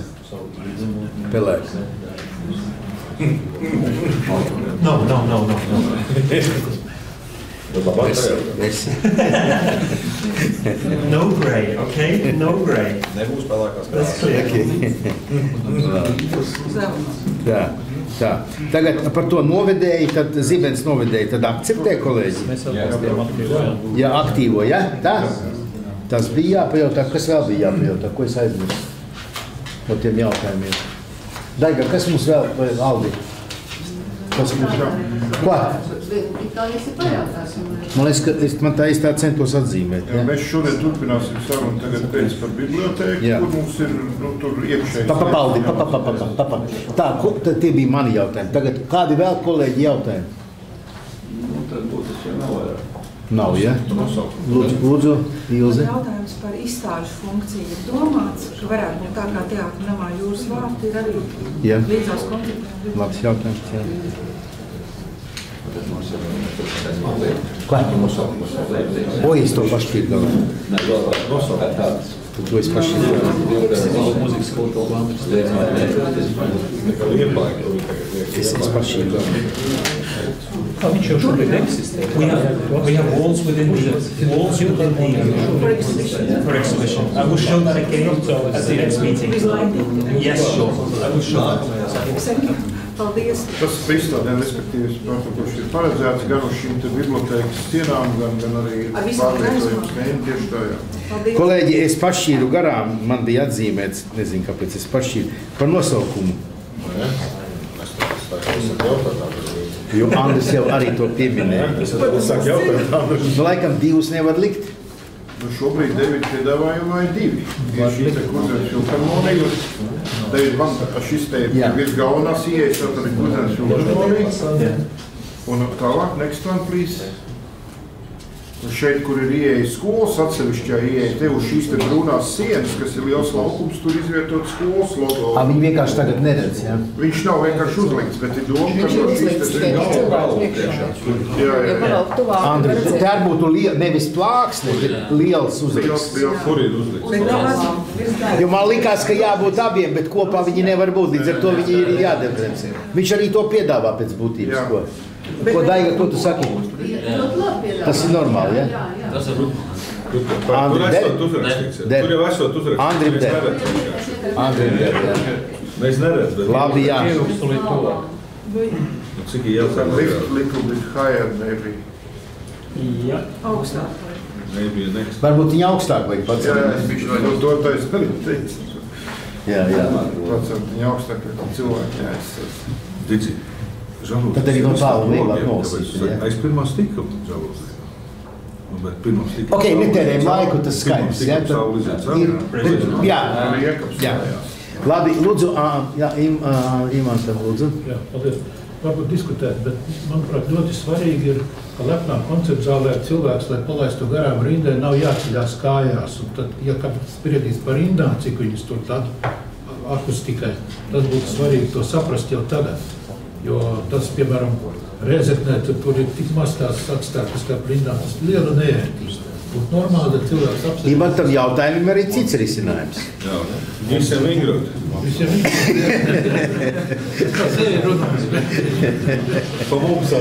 Es tā paiet garām.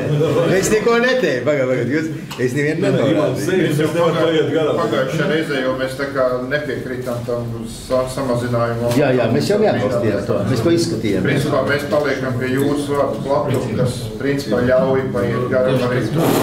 Jūs vārti ir uz robežas. Mums būs šās malējās vietas, Tā, lūdzu, vēl kādi jautājumi?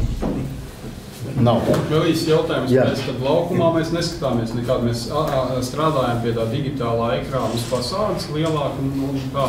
Bet laukumā mēs Man, li- man, jo lielā laukuma projekts ir gatavs. Jā. Un es domāju, tagad tur pēkšņi iejaukties, tas nav Ir vēl pareizi. viena lieta, ko mums šodien ir jā, jāakceptē, ir par šīm te būvlaukumu robežām. Tas mums saistās arī ar iepriekšējā projekta nodošanu. Lai mēs, ne, lai mēs varam nokoriģēt tagad pirms projekta To jūs paši izdarīt. jā. Darbu kārtībā ar Andru. Tu darbi kā. Borders of the, of the Ja, Tur tas, tas stāsts, kāpēc tas būtiski. Eh, Viņas ir tagad attiecināmas. Tagad ieņem no projekta lauka kā neattiecināms. Tās malas, kas Jā, no, un tas savukārt mēs to granītu, to, to, granītu, mēs tas, tas jau ielikām, tas viss negāja uz attiecinājumiem. Tad tur jāpārdala vienkārši. Mēs varēsim vairāk to granītu. Bet, ja, ja, ja, Ā, pie šitā. Jā, viņam kā neatiecinājumā. Jā, nu, Palielinot, respektīvi, to Nu jā, arī bū- būvlaukumā var strādāt Jā, normāli. tieši tā. Jā. Labi. Man- Skaidrs. Jā, lūdzu, Tā, lūdzu, man tā. bija, man bija piebilde par to, mēs arī vakar ļoti diskusējām, diskutējām, un es arī gribu vērst uzmanību, ka šajā gadījumā, bet mēs Dēvids jau arī atzīmēja, ka uh, viņš ir labojis to par to, ja, piemēram, mēs pieņemam, ka uzstājās 60 vai 70 cilvēku vai pat lielāks orķestris, orķestris, orķestrim vienlaicīgi ir jāuznāk uz skatuves. Un šīs ir ļoti neērtas pozīcijas. Te izskatās, ka tam mūziķim jāiet tā kā caur pudeles Kurš slaids pasaka, Tas ir pie- sestais, teiksim, ņemam par to sesto. Sestais slaids.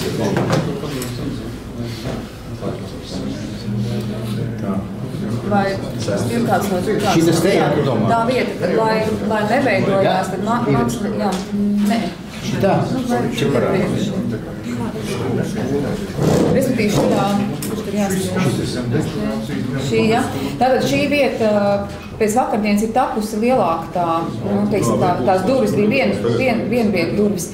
Bet eh, šī te, vieta ir 1,60 m šī, no šī brīža. Tā ir ļoti šaura eja, un, un, un teiksim, ja, ja mūziķiem ļoti daudz ir jāiet vienlaicīgi ātri uz skatuves, lai tas notiktu raiti, tad ir, man šķiet, ka šī vieta ir diskutējama par to, vai eh, tam mūziķiem jānāk no šejienes, pēc tam jāiet te cauri, un tad jāmet vairāk līkumi.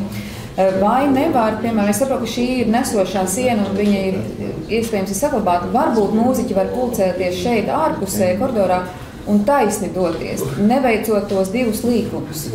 Jo, piemēram, nu, kāds ir aizmirsis notis, un viņam ir jāatgriežas atpakaļ. Tad no 1,60 m tur nevar būt divu virzienu, tur tikai viena virziena kustība. Aizmirsis notis. Nu, nu, nu, piemēram, nu, tāda sadzīves ja instrumentu aizmirsis? Nu, vēl stiprāk. vēl stiprāk. Viņš tur nevar atgriezties. Un, un aizmirst. šis, šī ir tāda no abām pusēm, tā ir ļoti svarīga pozīcija arī, arī, arī uh, augšā, ja? Ot, no otras puses, ja skatāmies, ja, kad tā, tās uzējas pie, pie liela orķestra vai liela kora sastāv, kur daudz cilvēkiem ātri ir jāuznāk uz skatuves, lai nav tā, ka skatītājiem ir nu, daudz minūtes jāgaida, kamēr visi uznāk uz skatuves, ka tur tā caurplūsma, manuprāt, ir Jā. diezgan Tad šaura. to vajag atstrādāt, ja? Ka Tur, tur pie tā ir arī, bet man Labi, šķiet, ka paldies, Ivet. Tā, ok, ja? Tā, lūdzu vēl, Daigai, ko Mēs jau vakar visi izrunājāt, ja? Tā. Pogas kungs kaut ko grib piebilst. Jāstrādā. Jāstrādā. Šī schēma, ka tas ir jāstrādā. Man, man jautājums Jā. par tām reklāmām. Vai mēs vispār stendu neparedzam tad ārpus ēkas? Paredzam, tos mazos digitālos. Tāda paša kā pie Valsības kārtēs. Vien, vienāds stends tā kā pie Valzivas stends. ir. Vienāds pašs pašs. Jautājums, vai pie Valzivas mēs tagad nevaram paredzēt modernāku, atbilstoši šim jau, nu, bet nu, viņa dizainis varētu būt viena, un ar tā informācija varētu iet. Bet kurā vietā? Nu, to mēs jau tad piedāvātu. Nu, tagad nav piedāvājumi. Bet, bet skaidrs, ka mēs no lielās sienas atsakāmies, es tā saprotu, un mēs ejam uz digitālajiem. Bet es nezinu, vai ja, ja tas stends būs tāpat kaut kur tūmā pie tās ēkas, un pie tās ēkas var būt arī tas digitālais ekrāns un viss. Ārpus, neiznesot ārpusē, nu, lai viņš ir pie ēkas. Mazais digitālais. Nu, Jā. Pieejas vai kaut kur tam līdzīgi. Nu. Un, un arī uz to Pie stendu kasēm, mēs varam jā. to pašu informāciju laist. Arī par, par Nu, protams, nu, tur, protams. Tur jau Domā, ka mainīt? Mēs neredzam jēgu uzlikt vēl vienu ārējo stendu atrautu no ēkas. Daigas. Nē, tas ir pilnīgi, pilnīgi taisnīgi. Sakarā, Man bija arī vēl viens jautājums, faktiski varbūt arī Ivetai, vai mēs varam garantēt pie tā, ka mēs strādājam tikai ar digitālu reklāmu, kad iekštelpās neizvīmies plakātus. Nē, nē, pie kasēm noteikti arī būs Nu, bet, noteikti. jā, bet jā, tas, kasēm. tas jautājums nav šobrīd atrisināts. Pie kasēm, eh, kur ir šīs te papīra afišas, eh, kurā vietā Bet es domāju, laiks iet uz priekšu, varbūt, ka Jā, bet tas ir jāietver projektā, jo Arī pie kasēm varētu būt. logu un tā tālāk. Arī pie kasēm varētu būt, es tā, tā piedāvāju, ka varētu būt viens, eh, teiksim, viens tas digitālais stends, kas rāda mēnesi vai divus uz priekšu programmu, ka cilvēki redz. Un otrs ir, kur mainās visu laiku, mainās katra afiša, šobrīd tas katra nav individuālā afiša. Es ļoti labu risinājumu redzēju vakardien Lahtī koncertu zālē Somijā. Tur ir uh, viena no pēdējo gadu veiksmīgākajām, modernākajām koncertu zālēm uzbūvēta. Un Viņiem ir viss mēbeles, kas atrodas publiskajā zonā, viss ir pārvietojams, viss ir uz riteņiem. Gan uh, apmeklētāju soli, gan spoguļi. Visiem spoguļiem, kas ir lielie pārbīdami, ir otrā pusē mīkstais pamats, kur var pies, piespraust afišas. Un to spoguli tu var nolikt, kurā vietā gribi bez riteņiem. Kolēģi, man, man lūgums, tad, ja mums ir digitāla, tas nozīmē, ka tur visu laiku iet e, e, informācija, ik pēc kaut kādām sekundēm viņa mainās, jo tas ir da- gana dārgi. Un neatsakieties lūdzu no parastām papīra afišām. Nevajag atteikties. Jā, nevajag atteikties. Vienalga, jūs aizbraucat uz jebkuru operu, nu, es labi ne uz ko, cik, cik es redzēju tur. Uh, Milānā, Laskala vai, vai Minhenē. Vai, visur tur ir standarta afišas. Un, un, un, ja tu gribi repertuāru vairāk redzēt, tev ir speciāli nu, tās brošūriņas tādas. Tu vari pie kases paņemt un paskatīties, gan kas notiks, gan tur apraksts ir pa katru tur operu vai ko. Un, nu, tā. Jo nu, tie, nav, tie nav tādi Bet ok, to jums vajag atstrādāt. to. Jā, bet tā jaunā paudze jau aug jau ar to vizuālo, ka viņi tā, viņi diezgan... Arī. Jā, nu, es tā domāju, nākotnē jau tā tik tālās lietas būs daudz saprotamākas. Mēs jau būsim. Vai mēs tā izskatīsim? Jā. Mēs jau pie valsts vēl neesam redzējuši to, ka tas te- Nē. Un Tas ir tabūt Davidam That's okay. I would like to... Tāpēc jau mēs teicām, ka tā Kolēģi, mums 12 jābeidz. I would like to prepare, prepare a proposal for the location of the digital screens, yeah, coordinated with the wallfish screens, yeah? Yeah. I think that's important and it gives you then a basis upon which you can make a decision. I will do that in the next 10 days, okay, and send it to Aldis and to Rido, okay? Tad nākamo desmit dienu laikā es sagatavošu priekšlikumu par šiem digitālajiem ekrāniem, kas ir sasaistē ar šiem balzīvus uh, tiem stendiem.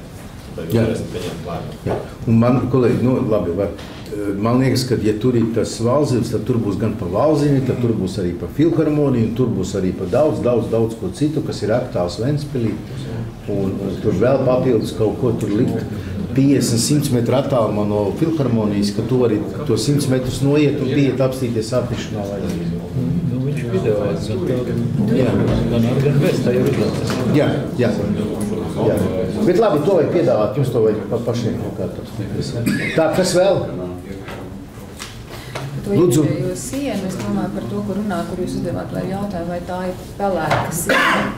Eh, Tā, tas ir diezgan liels laukums, un to sienu varētu varbūt izmantot, eh, izmantot teiksim, tā, es arī tā domāju, ka tās eh, ar gaismu palīdzību viņā varētu mainīt dažādas gan nokrāsas, gan varbūt, ka tur, par cik muzikas skolā ir arī tādu gaismotāju kursus, kad mācās jaunieki, tur mākslinieki var veidot gaismas performances, un viņa var būt arī kā ekrāns, ja tu izmanto to sienu, kā, teiksim, viņai nedod kaut kādu specifisku krāsu, bet ar gaismas palīdzību viņai var dot, viņu veidot kā mākslas darbu, var kā noskaņas, nu, teiksim, objektu veidot. Jums tik dod iespēju, jūs visu pārvērtīsiet par tik dārgu būvi, eh, ka beigās mēs pateiksim paldies, mēs to pacelt fiziski, finansiāli nevaram. Projekts ir skaists, bet domā citam gadsimtam. Mums, mums eh, nevajag sadārdzināt viņu tālāk. Nevajag. Nevajag. Lū- Lūdzu, ne- netaisiet tas, kas nav vajadzīgs. Ja tas mācību procesam, tad, tad tas, ir, tas ir tad arī par to direktoram jārunā. Mācību procesam tev vajag kaut ko tādu.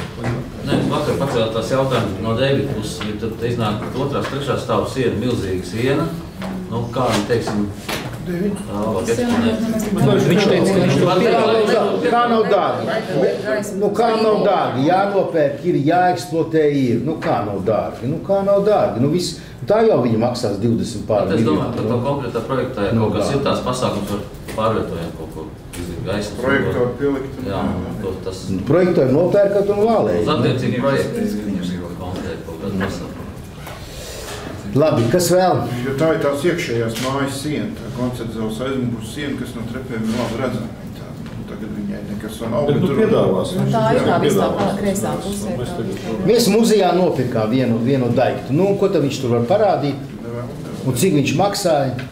Jā, gudrinieki. Sastāsta visādas pa- pasakas. Projektoru pieliekat valē. Cik maksā projektors? Un ko jūs vēl tur rādīsiet? Un Tas, mēs jau likām projektos, mēs pilsētā izmēģinām. Tas nav nemaz tik vienkārši. Pareizāk. Ko? Ar apstākļos nav vispār. Nu, Nebija atbilst tam. jā. Mēs jau to izgājām. Tam jābūt ļoti motivētam un pamatotam. Labi, lūdzu, vēl kas? Nav? Nav. Nav. Devīt, paldies. Thank you. Jā. Thank you, all you. Thank you. Labi. I see you in four weeks' time. Tiekamies pēc četrām. Jā. Jā. Visiem ir vairāk šobrīd. Labi, labi, labi. Mēs jau skatām kādu jautājumu. Kas mums tā ir? Pa sporta tērpiem skatām?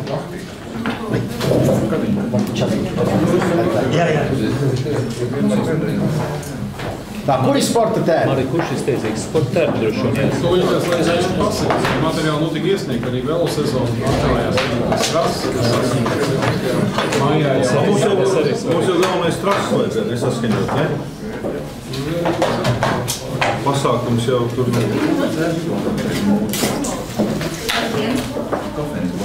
Galvenais jau saskaņot, lai ošanieks bērni, mēs nesēdinām rītiem, tas ir galvenais. Tā nē, mēs esam punkti smagi. Tas ir labi. Tad, tad viss atrisināts. Dainā reko brīvu vietu uznāca. Priekšādātājiem sievietes patīk. Patīk, jā, nevar, nevar noliekt. Spēlēs grupu. Tāpēc man Rīkevičs nepatīk. Par durvīm, kur Mēs jaunā esam bez vairāk, mēs cenās.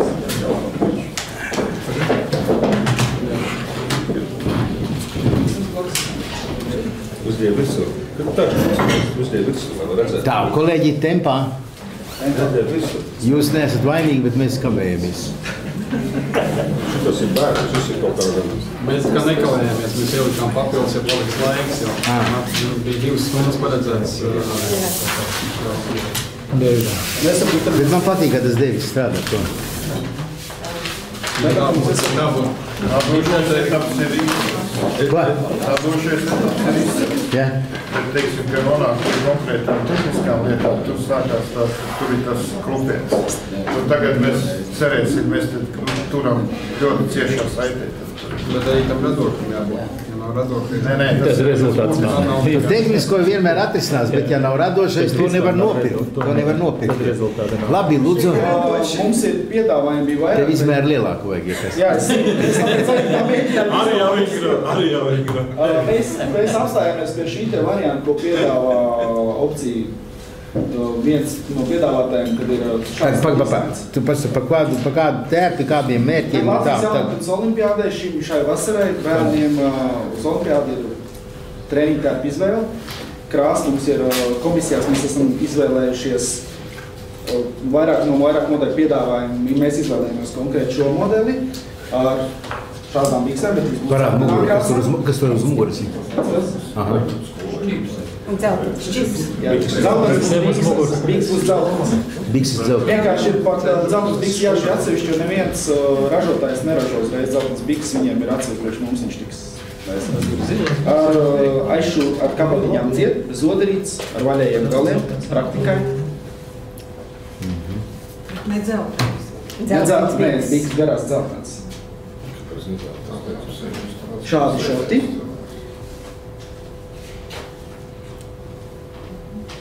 Uh, Tāda krāsa, kāpēc tāda krāsa?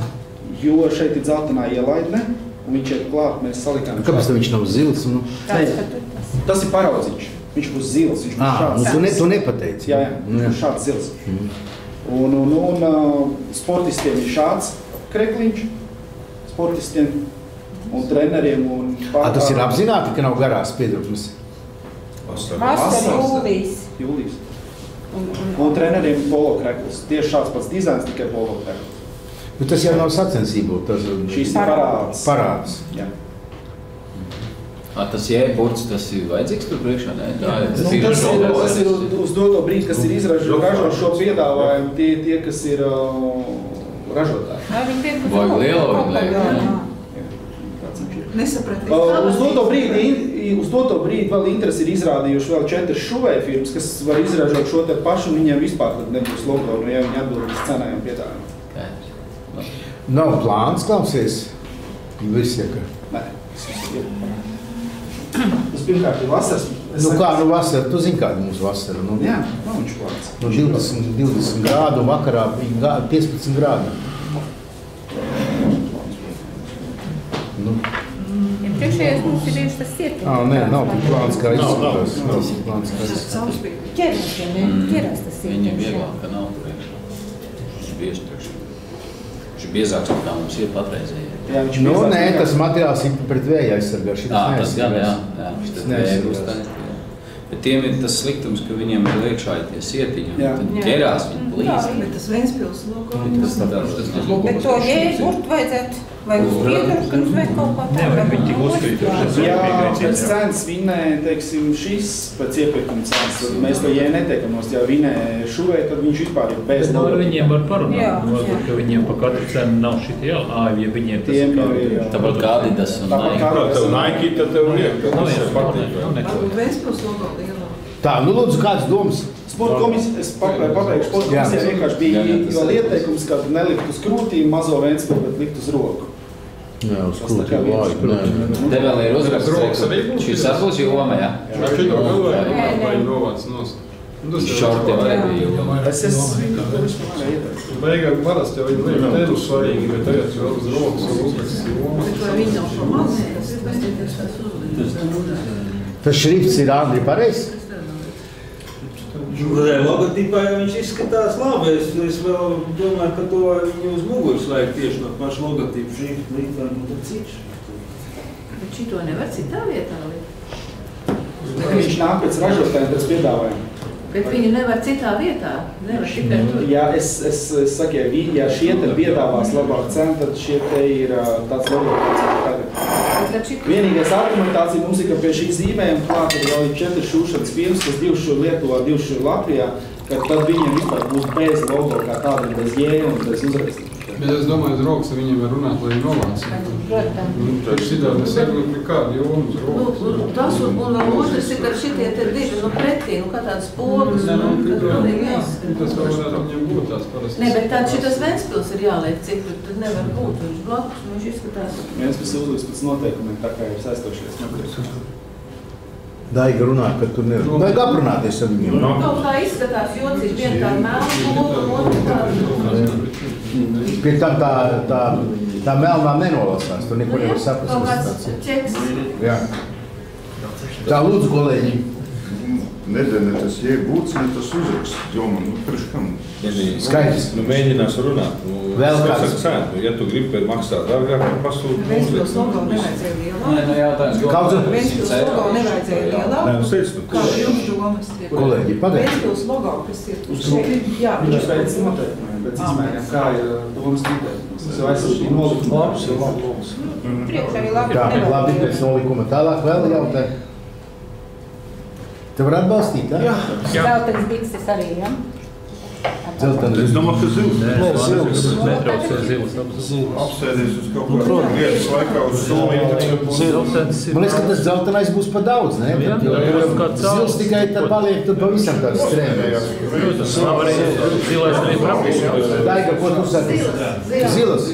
Es pats alkas priekšē, tad mums būtu vienreiz savādāk. Katrs viņas nekur neatšķirās šīs formas. 2004. gadā pirmā olimpiādē mums bija ir? zelten. zeltenais tērps, un mēs vienkārši izskatījāmies lieliski. Zeltens biks nebūs nevienam tas gan.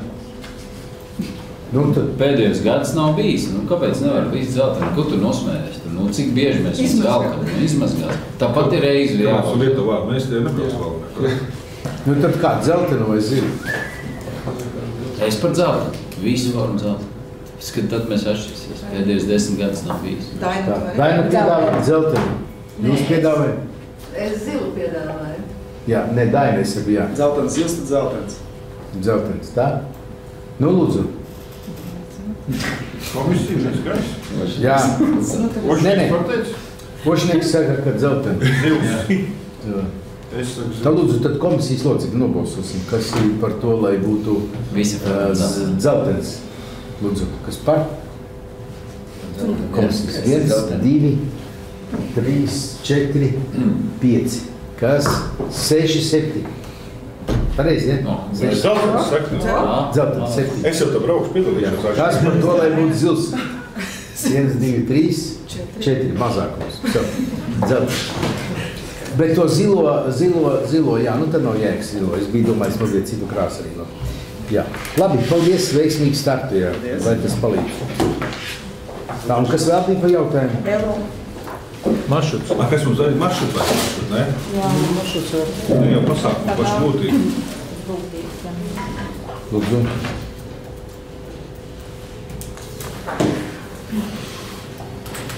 Velo maršruts. Tad pirmkārt, divus vārdus pasakiet, kā būs organizēts pa grupām vai kaut kā tam līdzīgu. Dalībnieku skaits un, un tad, un tad maršruts. Jā, Tātad, labdien.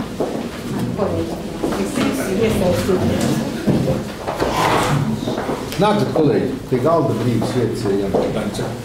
Lūdzu, Daina. Tā, eh, tātad piektais eh, Ventspils vasaras veloturismu sezonas atklāšanas pasākums ar eh, moto ar Vieķos plānojās 16. maijā, eh, pulkstenis 11. piedzīvojumu parkā.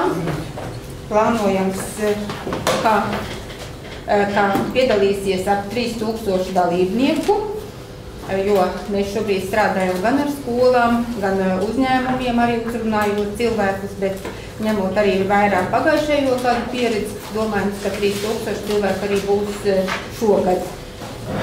Ar puķi spieķos moto izvēlējamies tāpēc, ka, eh, lai šis brauciens ir krāšņs, šeit var izmantot dziedus gan velosipēdu eh, noformējumā, gan, gan arī apģērbā. Un kā jau mēs pēc pieredzes zinām, tad arī uh, tiek novērtēti uh, dažādās nominācijās uh, šie la, uh, skaistāk noformētie velosipēdi un arī cilvēki, kas uh, vizuālais tēls. Tālāk, tātad pasākumu pašu ie, ievadīs eh, turisma konference. Eh, 15. Par to mēs tagad nerunājam, Mēs runājam, par tā, 16. Tad es rādu 16. norises pasākumu plānu. Tātad pulkstens 11. eh, pulcējās eh, bērni uz bērnu velo braucienu, eh, spēlē Big Band orķestris pie galvenajiem vārtiem trasi parādījuši pēc tam, tagad tikai ātri par, par pasākumu norisi. Tātad bērni apmēram trasē 15 minūtes, tad no Cik bērnu pasaki lūdzu? bērni plānojās ap 200 bērniem. Kurā vietā starts, kurā finišs? Tad mums ir plāns jāparāda. Tā, te būs labāk parādāms. Jā. Tātad eh, bērni plā, eh, pulcējās Saules iela. Atcer parādīt, lūdzu. Saules ielā. Saules ielā, A koridors, kur ir tātad. Šeit ir starts. Jā. Kur šeit? Kur tas ir Saules ielā? Norentē piedzēru kalns.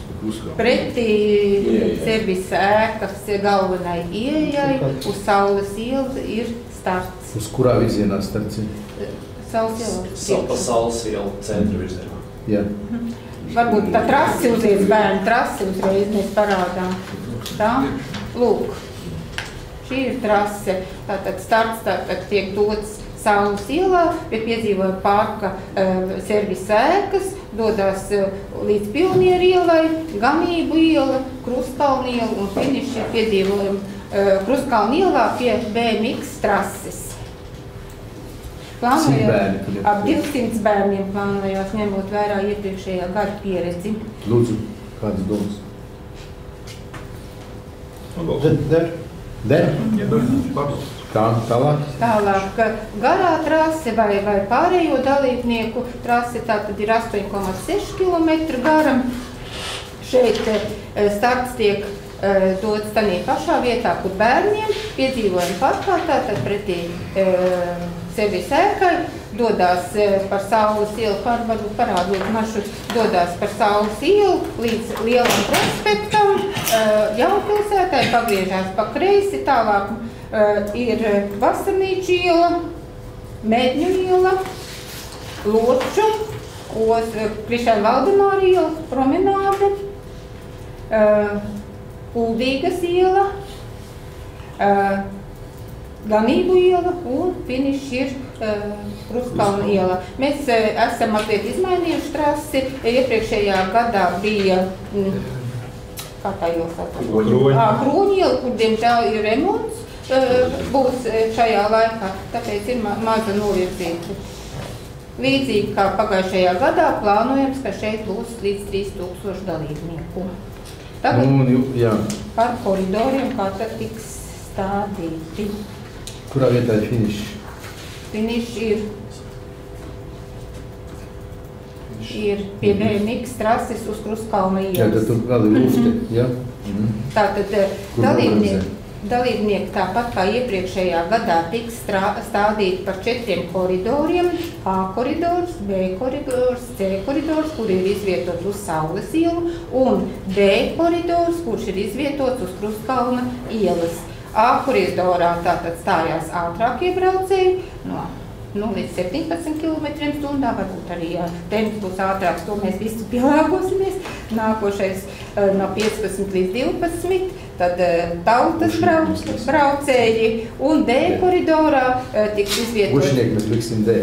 Nē, nē, mēs esam sarunājuši, viņiem šoreiz bērni nebūs, veseli rāmi nebūs. D koridorā tātad būs ģimenes ar bērniem, kuriem vismazāk ir jāiet uz beigām, bet pievienosies eh, nu, pēc C koridoru braucēju. Katru no tām grupām laiž atsevišķi. Ja, nu, tādā plūsmā katrā koridorā būs divi cilvēki, kas visu to koordinēs, kas sagaidīs, palīdzēs, būs uzraksti par koridoriem. Tālāk, kad atgriežas uh, Krustkalna ielām, būs uh, gar abām ielas pusēm, no BMX trases līdz, eh, līdz eh, piedzīvojumu tai servisa ēkai, izvietot 15 galdi.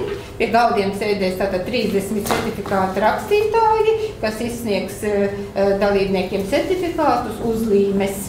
Uh, Pagājušajā 15 galdi. Tie- Piec- Jā, 30 cilvēku. 15 par divu pie galva. Jā. Par divu, tas, Jā. tas 30 izsniedz. Jā. Tad cik vienam ierakstam vajag laiku ar vienam cilvēkam, ka viņš... 30. Cik vienam vajag? 30 sekundes. Mazāk. Mazāk. 15 sekundes. Tas ir pārbaudīts. Jā, pagājušajā gadā mēs Pagājušajā gadā bija kāds viens. Ātri gāja. Cik pagājušajā bija? Tikpat, tikpat bija 30. Tā. Tā, tā, atbalva maziem bērniem tātad eh, būs arī konflikts bez certifikātiem un uzlīmēm, kā arī Olimpiskais centrs eh, iedos kuponiņu, pēc brīvas izvēles varēs apmeklēt, apmeklēt vienu atrakciju bez, bez maksas. Tātad pārējiem dalībniekiem ir gan certifikāti, gan uzlīmes. Esam par, paredzējuši arī spēka putru eh, un tēju. Būs arī no ūdens sarunāts ūdens, ja būs karsts laiks, kad cilvēki pagājušajā gadā ielābi izmantojam. Nominācijas mēs apbalvosim dažādas 13. Eh, Loterijā būs labs divu ritenis, ko visi cilvēki varēs izlozēt, kā arī plānots apbalvot lielākos kolektīvus, kuros būs vairāk kā 20 dalībnieki. Tātad šīs ir tās nominācijas, ko mēs piedāvājam, ši- kuras izvērtēs īpaši žūrijas komisija, un tāpat tiks visas apbalvotas ar eh, velo inventāru balviņām. Jaunu nomināciju mēs pielikām šogad klāt eh, saliedētākā ģimene. Mums likās arī paveikt ģimeni izskanēt šajā pasākumā. Cik varētu būt tie kolektīvi virs 20 dalībniekiem? Ap 20. Bet tas ļoti nogurdinoši būs, ka 20 tur sauks. Tas aizņem lielu laiku. Vai vajag tik daudz? Mēs Varbūt varam des- Jā, var arī, mm, teiksim, to skolā mēs domājam līdz 60 skolas. Jā, jā, bet tas ir ļoti garlaicīgs, saprot, vai tu, kamēr tu to izsauc, kamēr cilvēks atnāk. Tas Jā, paņem jā. vismaz min, divu minūtes, saprot? Nu, 50. Un ja tev ir uh, 20, tad tas ir jau turpat. Ok. Nu, paskatāmies 50. Nu, pareiķinās Jā. 50 īstenībā. Jā, varbūt tur lai kādi Jā. 5, 6 vai jā. Tā, viss, jā? Tā, viss, jā. Jā, Tad viss. Tā, lūdzu, iebildumi. To kultūras skatās? Nav, kultūra, nē, nē, nē, tas attīstības komisijas jautājums, tas nav. Jā, paldies. Paldies. Visi esam izskatījuši.